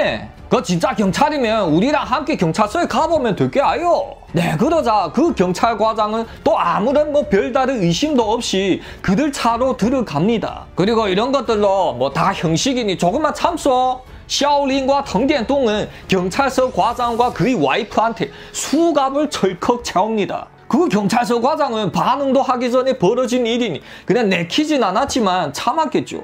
이제 경찰서에 도착해서 신분이 밝혀지기만 하면 이것들을 그냥 귀샤대기를 하나씩 날려야지 하고 그냥 단단히 벼르고 있었겠죠. 그러자 이때 텅디엔동과 샤올린이 그 두 경찰이 모험을 훑습니다. 뭐 권총이라도 있나 검사를 하고 있는 거죠. 하지만 뭐 경찰 과장은 남자니까 그렇다 치고 그의 와이프였던 여자 경찰은 어땠을까요? 텅디엔 동은 허리에 손이 들어가서 만져보더니 이 한 손은 엉덩이 쪽으로 내려가고 다른 한 손은 가슴 쪽으로 올라가며 그냥 대놓고 마구마구 만졌답니다. 그러자 그 여자 경찰은 깍 하고 소리 질렀고 경찰 과장은 그냥 발끈나는 거죠. 야야 니네 상관이 누구야? 누가 이따위로 가르쳤니? 네 그러자 샤올리는 썩소를 지으며 그 미안하오 우리 상관이야 조금 있다가 보면 알게고 요즘 기분이 아주 잡칠 대로 잡힌 분이요 아, 아 쟤도 아마 보면 금방 알아볼게 네? 그렇게 차량은 달리고 달리더니 그들 아지트에 도착하는 거였습니다. 뭐, 뭐야? 경찰서로 간다며? 여긴 어디야? 네, 이어서 곁에 샤올리는 차디찬 권총을 그의 이마에 갖다 댑니다. 야, 여기 우리 비밀경찰서다. 허튼 수자 부리지 말고 고분고분하게 따라온나 들었니? 네, 어떻습니까? 이러니 무슨 방비가 필요하고 또 무슨 대책이 있겠습니까? 그제야 뭔가 잘못된 건 눈치챘지만 뭘 어떡하겠나요? 그 권총의 위협을 받으며 질질 끌려서 아지트 안으로 들어가는 겁니다. 그 어두컴컴한 아지트에는 누군가가 앉아있 있었는데 잘 보이지가 않았었죠. 어 왔니? 그 이게 며칠 만이라니 반갑다야. 에? 그제야 자신이 내쫓은 양태용을 발견한 과장은 그냥 비명을 지르면 내빼를 합니다. 네, 하지만 샤올린한테 쉽게 제압당하고 그냥 굴리는 거죠. 어이, 내가 얘기했었지. 어? 내가 어떤 사람인지 똑똑하게 알려주겠다고. 샤올리야, 그 전등을 켜봐라. 네, 그러자 갑자기 전등불이 확 하고 켜지더니 그들이 작업장 모습이 확 보입니다. 그 땅바닥에는 제대로 닦지 않은 피들이 그냥 흥건히 있었고 그들 앞에는 또 여섯 개의 큰 빨간색 대야가 있었답니다. 그 큰 빨간색 대야 안에는 톱과 도끼 그리고 돼지를 잡는 칼들이 있었죠. 과장아, 니 내가 왜 맨날 바빴는지 아니? 내가 맨날 여기서 이짓거리를 하니까 그런 거제야. 한번 보여줄까? 네, 이어서 양태용은 돼지 잡는 칼을 잡아 들고는 그 과장이 와이프한테로 성큼성큼 다가갑니다. 어라? 요거 요거 괜찮다야. 내가 첫 번째로 올라타고 두 번째부터는 니네가 정해라. 양태용은 그 시퍼런 칼날로 여자 경찰이 가슴골로 그냥 옷을 확 찢더니 덮칩니다. 그리고는 그 경찰서 과장이 눈앞에서 그의 부인을 그냥 철석철석을 해 놓는 거죠. 이 과장은 암만 그냥 손이야 발이야 하고 빌렸지만 아무런 쓸모가 없었답니다. 그렇게 일곱 명한테 그냥 한 바퀴 다 당하고는 양태용은 또 그 돼지 잡는 칼을 잡아듭니다. 어이 과장아 우리 작업하는 데서 이제야 제일 귀찮은 게 뭔지 아니? 바로 이 머리카락들이거든. 특히 이런 긴 머리카락은 말이다. 이런 걸 그냥 그 채로 푹 끓여 삼으면 나중에 깜짝 놀라게 된단다. 왜냐고? 푹 다 끓인 그 가마 뚜껑을 열면 말이다. 그 불렁불렁 끓는 물 위에는 그냥 머리카락들이 쫙 그냥 펼쳐져 있거든. 그걸 보고 우리 애들이 그냥 깜짝 놀라서 한동안은 잠을 못 이뤄내다. 양태용은 한쪽에서 헤드레를 진행하며 또 한쪽에서 그 여자의 머리채를 자릅니다. 너, 너는 지금 뭐 하자는 거야? 어? 네, 그 과장은 흡사 뭔가 눈치를 챘던지 그냥 와들와들 떨기 시작합니다. 뭐 하는가? 뭘 하게 뭐 하게? 조금 있다가 닌데도 똑같게 할 거 하니까 먼저 시범을 한번 봐라. 이 양태용은 갑자기 돼지 칼로 그 여자의 목을 확 긁습니다. 그러자 크크 하고 그 여자의 목에서는 그냥 피가 쏴 하고 뿜어져 나왔고 양태용은 그 앞에 대야를 갖다 놓고는 피를 받는 거죠. 뭐 뭐야 니들 니들 인간이야? 경찰 과장은 일어서서 그 수갑을 채운 두 손으로 양태용을 내리까리 합니다. 네 그러자 또 곁에 있던 샤올린과 텅디엔동이 그냥 꽉 잡는 거죠. 야야 뭐 그리 급해하니 조금만 기다려라.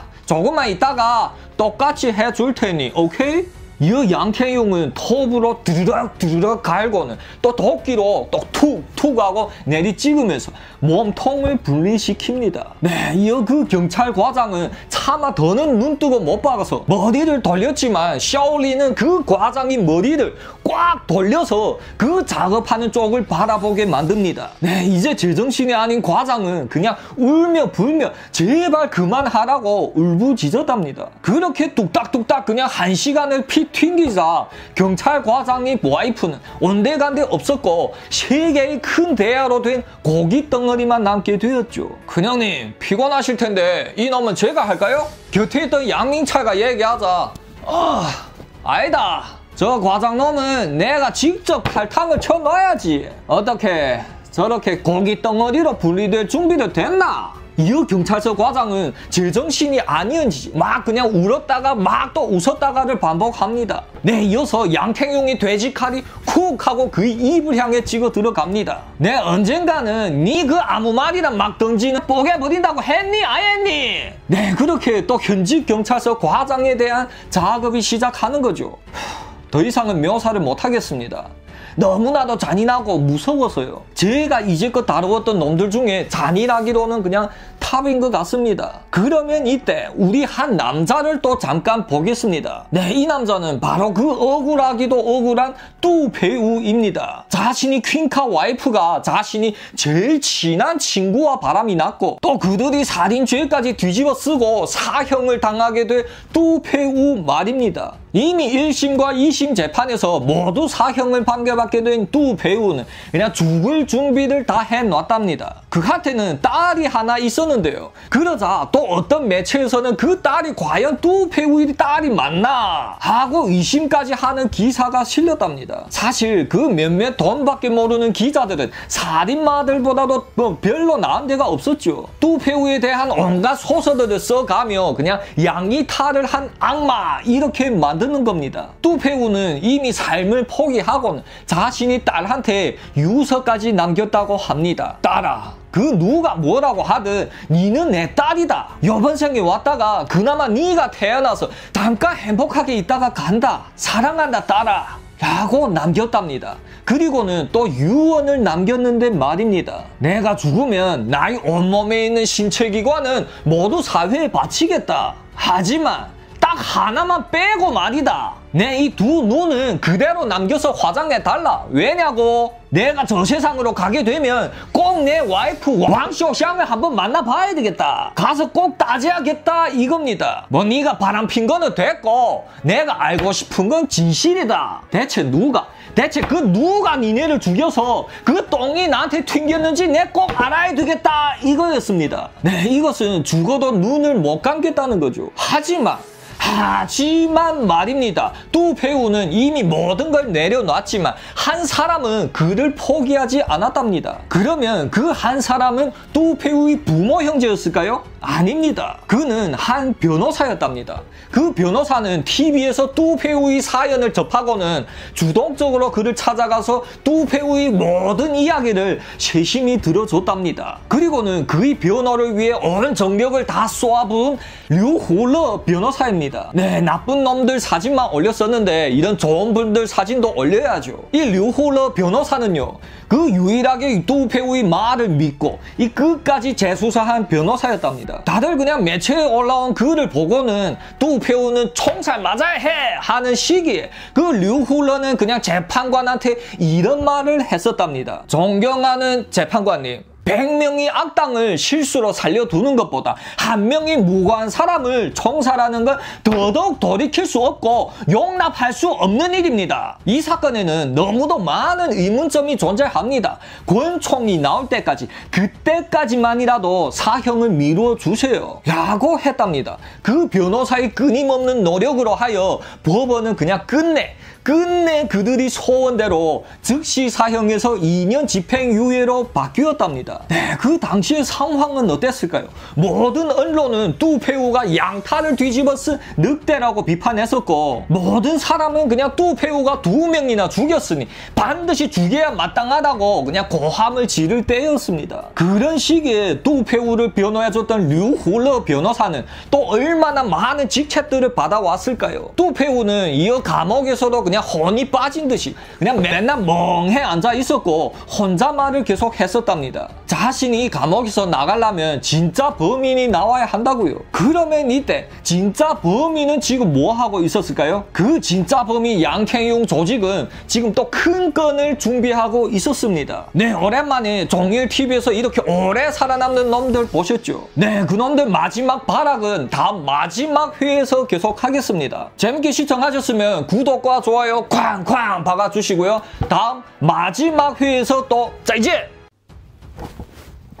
그 실제로 발생한 사건을 더더욱 생생하게 살려내는 종일TV 최종 1입니다. 양태용 조직은 또 한 건을 준비하는데요. 그건 바로 미쓰바시 SUV 차량이었습니다. 이런 차량은 제일 잘 팔리고 그 가격도 제일 잘 받을 수 있으니 말입니다. 지금 한참 물색하고 있었는데 드디어 그들 앞에 떡하니 한 대가 나타납니다. 네, 그것도 미쓰바시 SUV 중에서도 제일 특급 모델이었죠. 야, 야, 오늘야 운수 좋구나야. 저걸로 하자. 네, 이어서 또 키 180에 이 양태용 조직이 얼굴 담당이고 전직 올이었던 텅대동이 또 착 나섭니다. 텅대동은 경찰 봉을 요래요래 흔들면서 그 차량을 세우는 거죠. 아, 니하오, 봤니 경찰이다. 니 혼자야? 네, 그 차량 안에는 옷차림을 멋있게 한 한 아저씨가 운전하고 있었답니다. 이분은 60대 후반의 아저씨였는데요. 양태용 일당한테는 아주 그냥 쉽고도 쉽겠죠. 이 차량이 도둑질 당했다는 신고가 왔는데 함께 경찰서에 한번 가봐야 되겠다. 텅디안동은 이제 너무나도 익숙하니 그냥 묻지도 따지지도 않고 찰컥하고 수갑부터 채웁니다. 에? 그것도 뭔 말이요? 난 사업가요. 여기 자동차 등록증이랑 다 있는데? 네, 그러자 텅디안동은 싱거워하면서 그거 됐고 그런 거는 경찰서에 나가서 보여줘라. 내 임무는 너를 잡아들이기만 하면 되는 거다. 이래도 말 아이 들으면 공무집행방해로 즉시 쏘겠다. 텅디안동은 권총을 빼들면 어디서 뭐 공무집행 방해라는 단어는 들어갔고 맨날 써먹고 있습니다. 네, 하지만 그 차량을 세울 때부터 이미 모든 거는 그냥 되돌릴 수 없는 상황에까지 왔었죠. 하지만 또 경찰이 경찰봉을 휘둘르며 세우라고 하는데 어떻게 안 세울 수가 있겠습니까? 그러니 이놈들 수법은 그야말로 그냥 답이 없다고 하는 겁니다. 그렇게 그 아저씨를 가운데 앉히고 차가 달리고 있으니 그 뒤에 앉아있던 차이구얼리와 양민차는 꾸벅꾸벅 졸았답니다. 네, 어차피 이런 작업 열몇 차례나 진행해 왔으니 이제 뭐 아무렇지도 않았고 이번 건은 더더욱 경계심이 없었겠죠. 그런데 이때 어, 아들이니 내 차량이 도난 차량으로 오해받아서 지금 경찰서로 가는 길이다. 날 기다리지 말고 먼저 밥이다 먹어라. 네, 그 아저씨가 핸드폰으로 아들한테 전화를 하고 있는 거였답니다. 그러자 그 둘은 어, 그래 뭐 전화로 하는구나 하고 있었는데 어? 뭐야? 전화를 하고 있어? 그제야 잘골리는 제정신을 차리고 핸드폰을 확 낚아채고 끊습니다. 야, 누가 너 보고 전화하라고 했니? 어? 니 아주 뭐 지금 소풍 왔는가 하재야? 잘골리는 그 아저씨한테 주먹을 몇 대 날립니다. 그리고는 낚아챈 핸드폰을 다시 보자. 자, 요거 요거 모토로라 V998이네. 요 때깔 요거 봐라 죽인다 야. 네, 그 2000년에 요 뚜껑을 열 수 있는 모토로라 V998은 그 시대를 지내오신 분들은 다 아실 거라고 믿습니다. 그 시계는 엄청 비싸고 귀했었죠. 잘골리는 또 저번에 호랑이 모양의 그 금반지를 남몰래 챙겼던 것처럼 그냥 허주머니에 척 넣습니다. 있습니다. 네, 양태용 조직이 그 아무리 뭐 치밀한 계획이고 기가 막힌 작전이라도 이런 상상밖에 자그마한 일 때문에 잘못되는 겁니다. 하지만 이거는 나중에 또 다시 얘기 드리고요. 그렇게 그 불쌍한 아저씨는 그들한테 끌려워서 뭐 아지트에 갔으며 개와 돼지 밥으로 되게 되었답니다. 나중에 경찰들이 수사한 데 의하면 그들이 그 아지트의 개들 똥에서 이 아저씨 손톱과 발톱이 글쎄 여섯 개나 나왔다고 합니다. 정말로 무서운 사건이었죠. 그번 건에서 양태용 조직은 그 최고급 SUV를 팔고 30만 위엔을 챙겼으며 또 시계 하나를 발견하였는데 그것이 3만 5천 위엔이나 됐다고 합니다. 그 시대에 이런 명품 시계를 하고 다녔으니 이 아저씨도 웬만한 상리는 아니었겠죠. 그리고 또 2만 위엔이나 되는 다이아 반지에 이 몇천 위엔이나 되는 금목걸이 그냥 온몸은 그냥 아예 명품으로 도배를 했었죠. 이어 또 그가 갖고 다니던 가방을 척 열자 헐 이 아저씨 이거 현금만 만여 위엔을 갖고 다니네? 어마어마했답니다. 뭐 다른 건 다 조직에서 처분을 하고요. 자이고리는 또 그 아저씨 명품 가방을 욕심냈었답니다. 그러자 샤오리는 그래 뭐 얘다 니 가져라 하고 자이고리한테 따로 뭐 그 가방을 줬다고 합니다. 하지만 하지만 말입니다. 양태용과 샤올리는 한 가지를 그냥 꿈에도 상상 못했겠죠. 그 잘고리가 이미 오기 전에 핸드폰 하나를 그냥 낚아챈 걸 말입니다. 잘고리는 이렇게 작업 중에 한 개, 두 개요 피해자들이 물건들을 낚아챈 게 많았다고 합니다. 그리고 집에는 아예 이것들을 그냥 전리품들 마냥 그냥 진열장을 만들었답니다. 하지만 이번 실종 사건은 또 전의 사건들과 다르잖아요. 그 아저씨가 당하기 전에 전에 아들과 통화를 했었잖아요. 이어 그 아들은 며칠이 지나도 부친이 소식이 없자 경찰서에 찾아갑니다. 아니 니네 경찰서에서 데려간다더니 왜 사라졌니? 라고 그냥 경찰서에서 난동을 부렸다고 합니다. 어허라 뭐야 경찰이 데려간다고 했었다고? 그러면 요즘 일어나는 이 납치범들이 경찰 행세를 하고 다니며 사람들을 납치한단 말인가? 그제야 경찰들은 요번 연쇄 실종 사건들은 그들이 전에 보도 듣도 못한 기능 수법이란 걸 눈치챕니다. 야, 이 아저씨 핸드폰 번호 24시간 동안 주시하고 있어라. 언제든지 핸드폰이 켜지기만 해도 바로바로 바로 위치를 추적할 수 있게 말이다. 경찰들은 비록 뭔가 느낌을 받았지만 뭐 어떻게 할 수가 있는 건 없었죠. 그러면 잘고리가 가지고 있었던 그 관건적인 핸드폰은 어디에 있었을까요? 네, 역시 아직도 그 잘고리 전리품 전시장에 있었답니다. 사실 잘고리도 너무 바보는 아니었죠. 그걸 감히 함부로 켜지는 못했던 겁니다. 그렇게 또 아무런 일이 없자 양태용과 샤오리는 이젠 그냥 배짱이 점점 더 커집니다. 야 우리 이제 뭐 밤에만 하지 말고 그냥 대낮에 하자. 우리 수법은 대낮이 아니라 경찰서 문 앞에서 경찰들은 납치해가도 모를 게다. 네, 그들이 추측은 정확했습니다. 2000년 5월 31일 점심시간이었습니다. 양태용과 샤올리는 또 자신들이 지프 차량에 척 누워서는 이 지나가는 차량들을 초이스를 보는 겁니다. 음, 오늘은 또 어떤 차량들을 먹을까라고요. 그들 앞에는 각양각색의 차량들이 지나갔지만 그들은 그냥 시큰둥해합니다. 그 많은 차량들 주인들은 자신이 너무 그 비싸지 않은 그 대중적인 차량이 자신이 목숨을 구한 걸 알기는 할까요? 그런데 이때 한 벤츠 S320이 그냥 쌩 하고 지나갑니다. 그 세차까지 해서 그냥 빛이 번쩍번쩍 나는 대로 말입니다. 야, 야, 저거다, 저거! 빨리 잡아라! 이어 운전석에 있던 조수광은 그냥 재빨리 시동을 켜고 쫓습니다. 에? 그런데 형님 저거 군용 차량인데요? 괜찮을까요? 그러자 샤올리는 느슨하게 웃으며 대답합니다. 괜찮다. 어차피 뭐 더 잘 됐네. 그러면 우리 다 권총을 더 챙겨서 더 확실하게 무장할 수 있지요.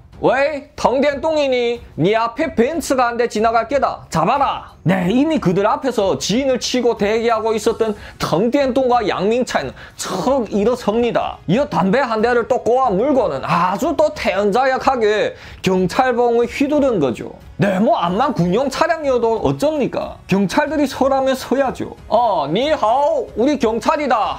이거 군용 차량이네. 군인증 한번 보자. 네, 그러자 앞에서 운전하고 있던 사람은 방향대를 탕 하고 칩니다. 야, 니네 저 뒤에 앉아있는 분이 누군지 아니? 빨리빨리 비켜라. 하면서 유리창을 다시 올립니다. 야, 이거, 이거, 이것들이 지금 장난하나? 당대똥은 다다져가는 그 창문 안에다가 권총을 집어넣습니다. 어이, 니네 뭐야? 공무집행방해야? 어? 어떻게 날씨도 더운데 머리 통이 시원하게 구멍이나 하나 내줄까? 네, 아무리 뭐 군인들이라지만 권총 앞에서는 또 한없이 약해지는 인간이잖아요. 그 뒤에 앉은 사람은 군인 장교라고 그냥 간단하게 나오고 도대체 직급이 어느 정도 있는지는 안 나옵니다. 하지만 2000년에 벤츠 S320을 배정받은 걸로 봐서는 그 직급이 상당한 걸로 보이기는 합니다. 그렇게 군대에서는 대단한 분이지만 양태용 조직 앞에서는 뭐겠습니까? 그냥 잡아먹기를 기다리는 어린 양밖에 더 하겠나요? 자, 우리는 공무집행 중이니까 반항하지 말고 권총을 내놓는다 실시. 뭐 어차피 경찰서에 가서 아무 문제 없으면 돌려주니까 걱정 말고 네, 그 권총으로 머리를 조준하고 이렇게 얘기하는데 뭐 다른 선택권이 있겠나요? 그냥 권총을 내놔야죠. 이야 이거 이거야 군관이 권총은 다르긴 다르야 이 때깔 봐라 이거 그들은 군관이 권총과 차량 기사의 권총까지 총 두 자루를 얻게 됩니다. 야야 그 총은 니네 같은 이런 하급 경찰들이 마구 문질러도 되는 총이 아니다. 잘 모셨다가 다시 내 나라에 헐, 그 군대의 장관이란 놈이 이렇게 눈치가 없고 정신을 못 차리고서야 어떡합니까? 뭐 오케이! 양태용은 차 안에서 피 튕기면 질값을 못 받을까봐 참습니다. 그렇게 그들이 도착한 곳은요. 이 개들이 막 지저대고 돼지똥 냄새가 진동하는 한 농장인 겁니다. 어라? 니네 뭐야? 경찰서로 간다며? 니네 진짜 경찰이 맞니? 경찰증 한번 보자! 아하, 양태용은 희죽희죽 웃으며 경찰증 그래니 여기 있다 하면서 권총을 빼서 보여줍니다. 아이고 모든 게 잘못되고 있었구나. 군관은 그제야 땅을 치며 후회해도 이미 권총까지 모두 빼앗긴 이상 뭘 어떻게 더 하겠나요? 그냥 그렇게 잡혀 들어가는 겁니다. 그리고는 또 저번 회에 나온 것처럼 뭐 죽이고 몸통을 분리하고 푹 끓여서 개와 돼지 밥으로 주는 거죠. 이놈들 이거 참으로 독하긴 독했습니다. 그렇게 권총들로 무장한 양탱용 조직은 이 전성기인 것 같아 보였지만 이걸로 그들은 끝입니다. 네? 그러면 대체 뭔 일이 있었을까요? 부파 선一样的 对手, 就怕猪一样的 队友라고 그 뜻인즉 신같이 강한 적수도 두렵지는 않지만 돼지처럼 아둔한 동료만은 정말로 두렵다는 뜻입니다. 이어서 그 돼지처럼 아둔하고 욕심 많은 자이원리가 활약하기 시작합니다. 저번에 이놈이 이거 돈 많은 상인 아저씨한테서 그 모토로라 핸드폰을 하나 슬쩍 한 거 있잖아요. 자이원리는 그 핸드폰 을 자신이 전시장에 척하니 진열해 놓고 있었는데요. 갑자기 돈이 급해서 그걸 팔아보려고 마음 먹습니다. 에? 그 잔인한 짓거리를 해가며 돈 하나만은 그냥 펑펑 받았던 그가 뭔 돈이 또 부족했을까요? 네 사실 이놈이 그때 돈을 그냥 좀 만지고 펑펑 써대자 꽃뱀한테 말려들고 말았답니다. 잘권리는 꽃뱀한테 홀리워 그냥 돈을 버는 족족 다 그 꽃뱀한테 올인하여 퍼붓게 되는 거죠. 이제 돈도 없는데 이 요상하게 생긴 꽃뱀이 엉덩이를 살랑살랑 흔들자 자이권리는 또 돈을 만들어 보려고 이리저리 여전히 뛰어다닙니다. 하지만 이제 더 이상은 돈이 나올 구석이 없자 그냥 그 전리품 중에 핸드폰을 팔아보려고 마음 먹었던 겁니다. 자이원리는 그 모토로라 핸드폰을 챙기고는 한쪽에 또 꽃뱀을 으스러지게 안고는 그 중고 시장으로 갑니다. 그 이거 망가진 핸드폰 아요 문제 없으면 어디 한번 작동을 해보시오. 에?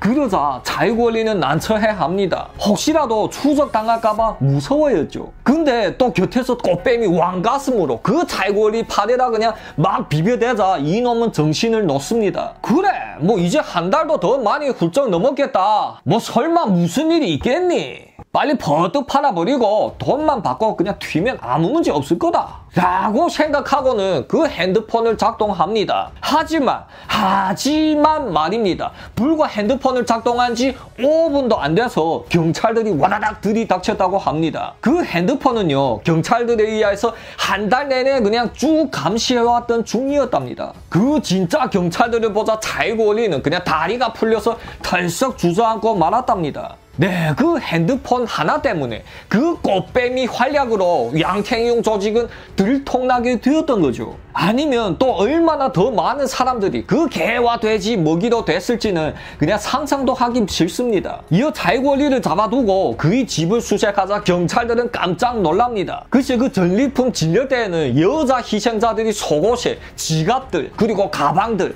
뭐 별하별 물건들이 다 있었답니다. 어이 자유권리야 너 그 진열대가 아주 기가 막히더라. 어떻게 죽은 여자들 속옷까지 진열해 놓고 있었니? 어?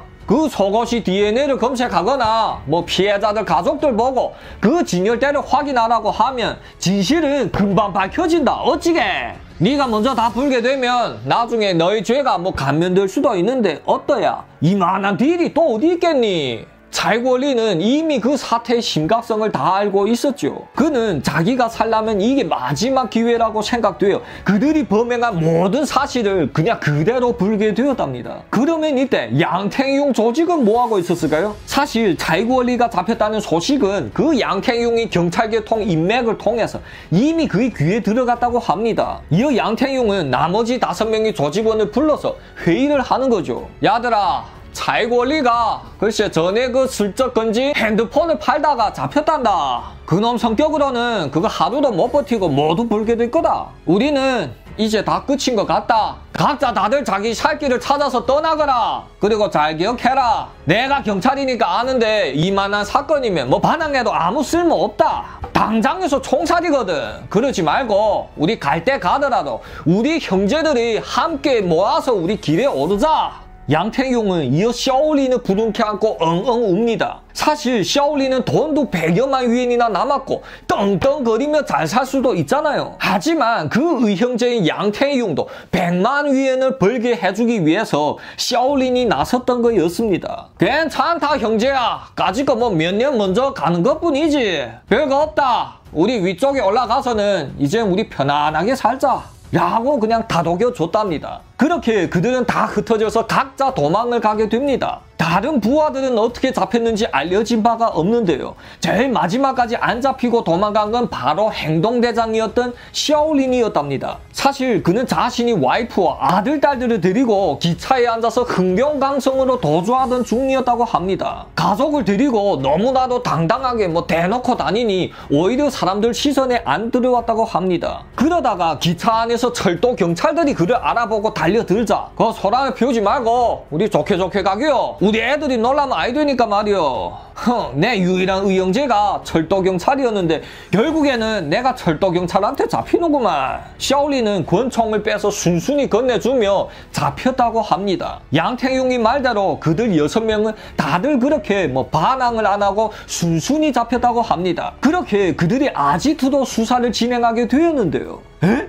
이게 뭐야? 이 권총이 왜 여기 있어? 네, 그들은 금고에서 한 권총을 발견하게 되었는데요. 그 권총 번호를 보니까 바로 그 두페우의 사건에서의 권총이었답니다. 이게 대체 웬일이야? 네, 그제야 두페우 사건이 진실이 나오게 되자 경찰서는 물론이고 법원까지 그냥 발칵 뒤집히게 됩니다. 아니 뭐? 유일한 범죄 가능한 두페우가 자문을 두드리니 안에서 열어준 게 아니고 니네 가 강도가 경찰 복장을 하고 문을 두드리니 고분고분 열어준 게라고. 그리고 니네 권총으로 먼저 위협하고 경찰서 부서장한테서 권총을 빼앗았다고. 야, 니네야 정말 일러내기야. 어떻게 이런 말도 안 되는 일을 할 수가 있니? 네, 이어서 권명식 경찰서 서장은 친히 나섭니다. 그는 경찰복을 두 손 모아 받들어서 그 두 배우의 추록을 마중 갔답니다. 이어 감옥에서 나온 두 배우는 그냥 얼떨결에 마중하러 나온 류후러 변호사를 보게 됩니다. 이어 막 달려가서 그 변호사를 부둥켜 안고 애처럼 그냥 엉엉 울었다고 합니다. 네, 만약에 류후러 변호사가 없었다면 아마도 두 배우는 지금쯤이면 총살을 맞고도 남았겠죠. 그리고 그 억울한 영혼이 지금쯤이면 아마도 이승을 떨돌면서 괴로워하고 있었겠죠. 이어 두 배우는 또 두 부류의 사람들이 생각납니다. 이놈들은 바람핀 와이프와 그 자신이 뒤통수를 친 제일 친한 왕주인 버보다 그냥 더더욱 괘씸해놨죠. 그것은 바로 자신한테 온갖 고문을 다 진행했던 자신이 옛 동료들이었다고 합니다. 그리고 또 두 번째는 자신을 피저 양피더랑 즉 양탈을 쓴 늑대라고 비유했던 신문사의 기자들이었다고 합니다. 뚜페우는 이어 그들을 향해 소송을 냈었고 끝내 진심 어린 사과를 받아냈다고 합니다. 이어 뚜페우에 대한 보상은요. 그 원래의 경찰 신분을 되찾아 주고요. 또 감옥에 갇힌 동안 못 받은 월급 2만여 위엔을 줬답니다. 그리고는 100여 평 되는 집 한 채를 보상으로 받게 됩니다. 뚜페우의 사건으로 우리는 두 가지를 알 수 있습니다. 첫째, 사실 우리 눈에 보이는 것들은 진실이 아닐 수도 있다는 것과 맨날 우리들이 귀에 뭔가 집어넣는 그 매체들의 기사는 대부분이 그냥 돈만 바라보고 찍어대는 허위 사실이라는 거예요. 뚜페우는 현재 잘 살고 있고요. 이것은 2019년 친구 모임을 할 때의 사진이라고 합니다. 이 가운데 앉은 사람이 뚜페우죠. 그는 그 뒤에도 원래 하던 그 범죄 용의자를 신문하는 경찰서 과장을 하였는데요. 전에와 다른 점이라면 정말 그냥 부득이한 경우 아니면 함부로 고문을 안 썼다고 합니다. 그 눈에 보이는 게 진실이 아닐 수 있다는 걸 너무나도 잘 알고 있었던 그였기에 말입니다. 그러면 양태용 일당은 어떻게 되었을까요? 여기 또 에피소드가 하나 있는데요. 보통 매개 조직마다 이런 재미있는 놈들 한 놈씩 있습니다. 이 놈은 바로 잘구리였습니다. 잘구리는 자신이 죄를 감면받을 수 있다는 소리에 그냥 솔깃해서 조직이 모든 걸 먼저 불었잖아요. 이 양태용 조직이 전부 잡힐 수 있었던 거는 잘구리의 활약이 매우 컸습니다. 만약에 잘구리가 조금이라도 더 버티고 입을 다물었다면 결과는 달랐을 수도 있었겠죠. 양태용이 경 찰이잖아요. 걔가 만약 잘구리가 잡혔다는 소식을 먼저 들었다면 그냥 모두 뿔뿔이 도망쳤겠죠. 하지만 잘구리 그 빛이 속도로 아주 그냥 모두 다 불어버렸으니 양태용이 소식을 알았을 때는 이미 늦었던 겁니다. 잘구리는요 그 일곱 명의 조직원들이 다 함께 있는 법정에서 일했답니다. 저 재판장님 양태용 조직을 다 잡을 수 있었던 거는 내 공로가 제일 큽니다. 이미 경찰서에서도 죄를 감면해 준다고 했으니 저희 사형은 취소해 주세요. 라고 했었답니다. 뭐? 그러자 양태용 조직 6명이 그냥 도끼 눈을 붙뜨고 잘권리를 그냥 당장이라도 잡아먹을 듯이 째려봅니다. 그중 샤오리는 또 수갑과 족실까지 다 채인 채로 그냥 잘권리를 때리겠다고 달려들었답니다. 야 잘권리야 네놈 때문에 우리가 지금 이렇게 됐는데 뭐? 또 여기서 혼자서 살아남겠다고? 잘권리는 그때 알았었죠.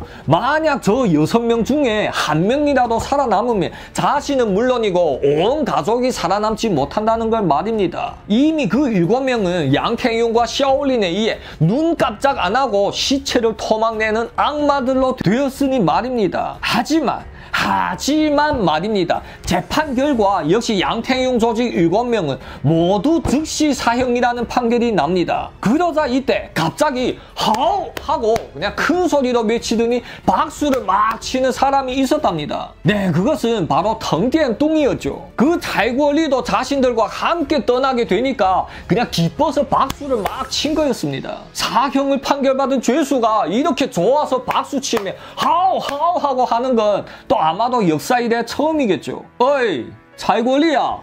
우리 저 세상에서 또 보자. 네, 이거는 양태용이 마지막으로 남긴 말이었다고 합니다. 이어 2000년 11월 17일 양태용 조직 7명은 모두 총살을 받게 됩니다. 이 사진은 마지막 날 사형장으로 끌려가는 양태용의 모습이랍니다. 네, 이렇게 희대의 악마들 양태용 조직에 대한 이야기 막을 내리겠습니다. 다음에 제가 준비할 내용은요. 또 오랜만에 찐하디 찐한 흑사회 건달 이야기입니다. 흥룡강성에서는 한 남자애가 있습니다. 이놈은 가정 형편이 너무나도 찌는 듯이 못 살아서 거짓무리에 들어갔다고 합니다. 하지만 또 그 수십 명이 거짓무리에서 왕초가 되었고 나중에는 흑사회 두모까지 올라갑니다. 이놈은 집에서 호랑이를 애완견으로 키우고 AK-47 그 자동 소총을 취미 삼아 갖고 다녔다고 합니다. 또 예만이 특색이 독특한 흑사회 거물 중의 거물이었죠. 얘가 활동한 시기는 1993년부터 2003년 사이였는데요. 바로 저스 조직이 붕괴된 이후였죠. 소문에 의하면 리정광이 북경에서 활약할 때 잠깐 흥룡강성 치치아시로 다녀온 적이 있었잖아요. 제가 리정광 편에 얘기를 했었는데 기억나실지 모르겠습니다. 그때 바로 요 뜨고 있는 까마득한 후배한테 후배 터치를 해주려고 다녀왔다는 소문도 있습니다. 하지만 종일TV는 어떤 TV입니까? 소문 같은 거 빼고 확실하고 그 기록된 일들만 살려내는 게 종일TV잖아요. 특히 이놈들이 그 흑사회 힘으로 돈을 쓸어 담는 실제 이야기가 아주 재밌는데요. 그 생생한 장면을 또 종일이가 달달하게 풀어보겠습니다. 재밌게 시청하셨으면 구독과 좋아요 그리고 알림 설정까지 하시고요. 다음 이야기에서 또 짜이젠!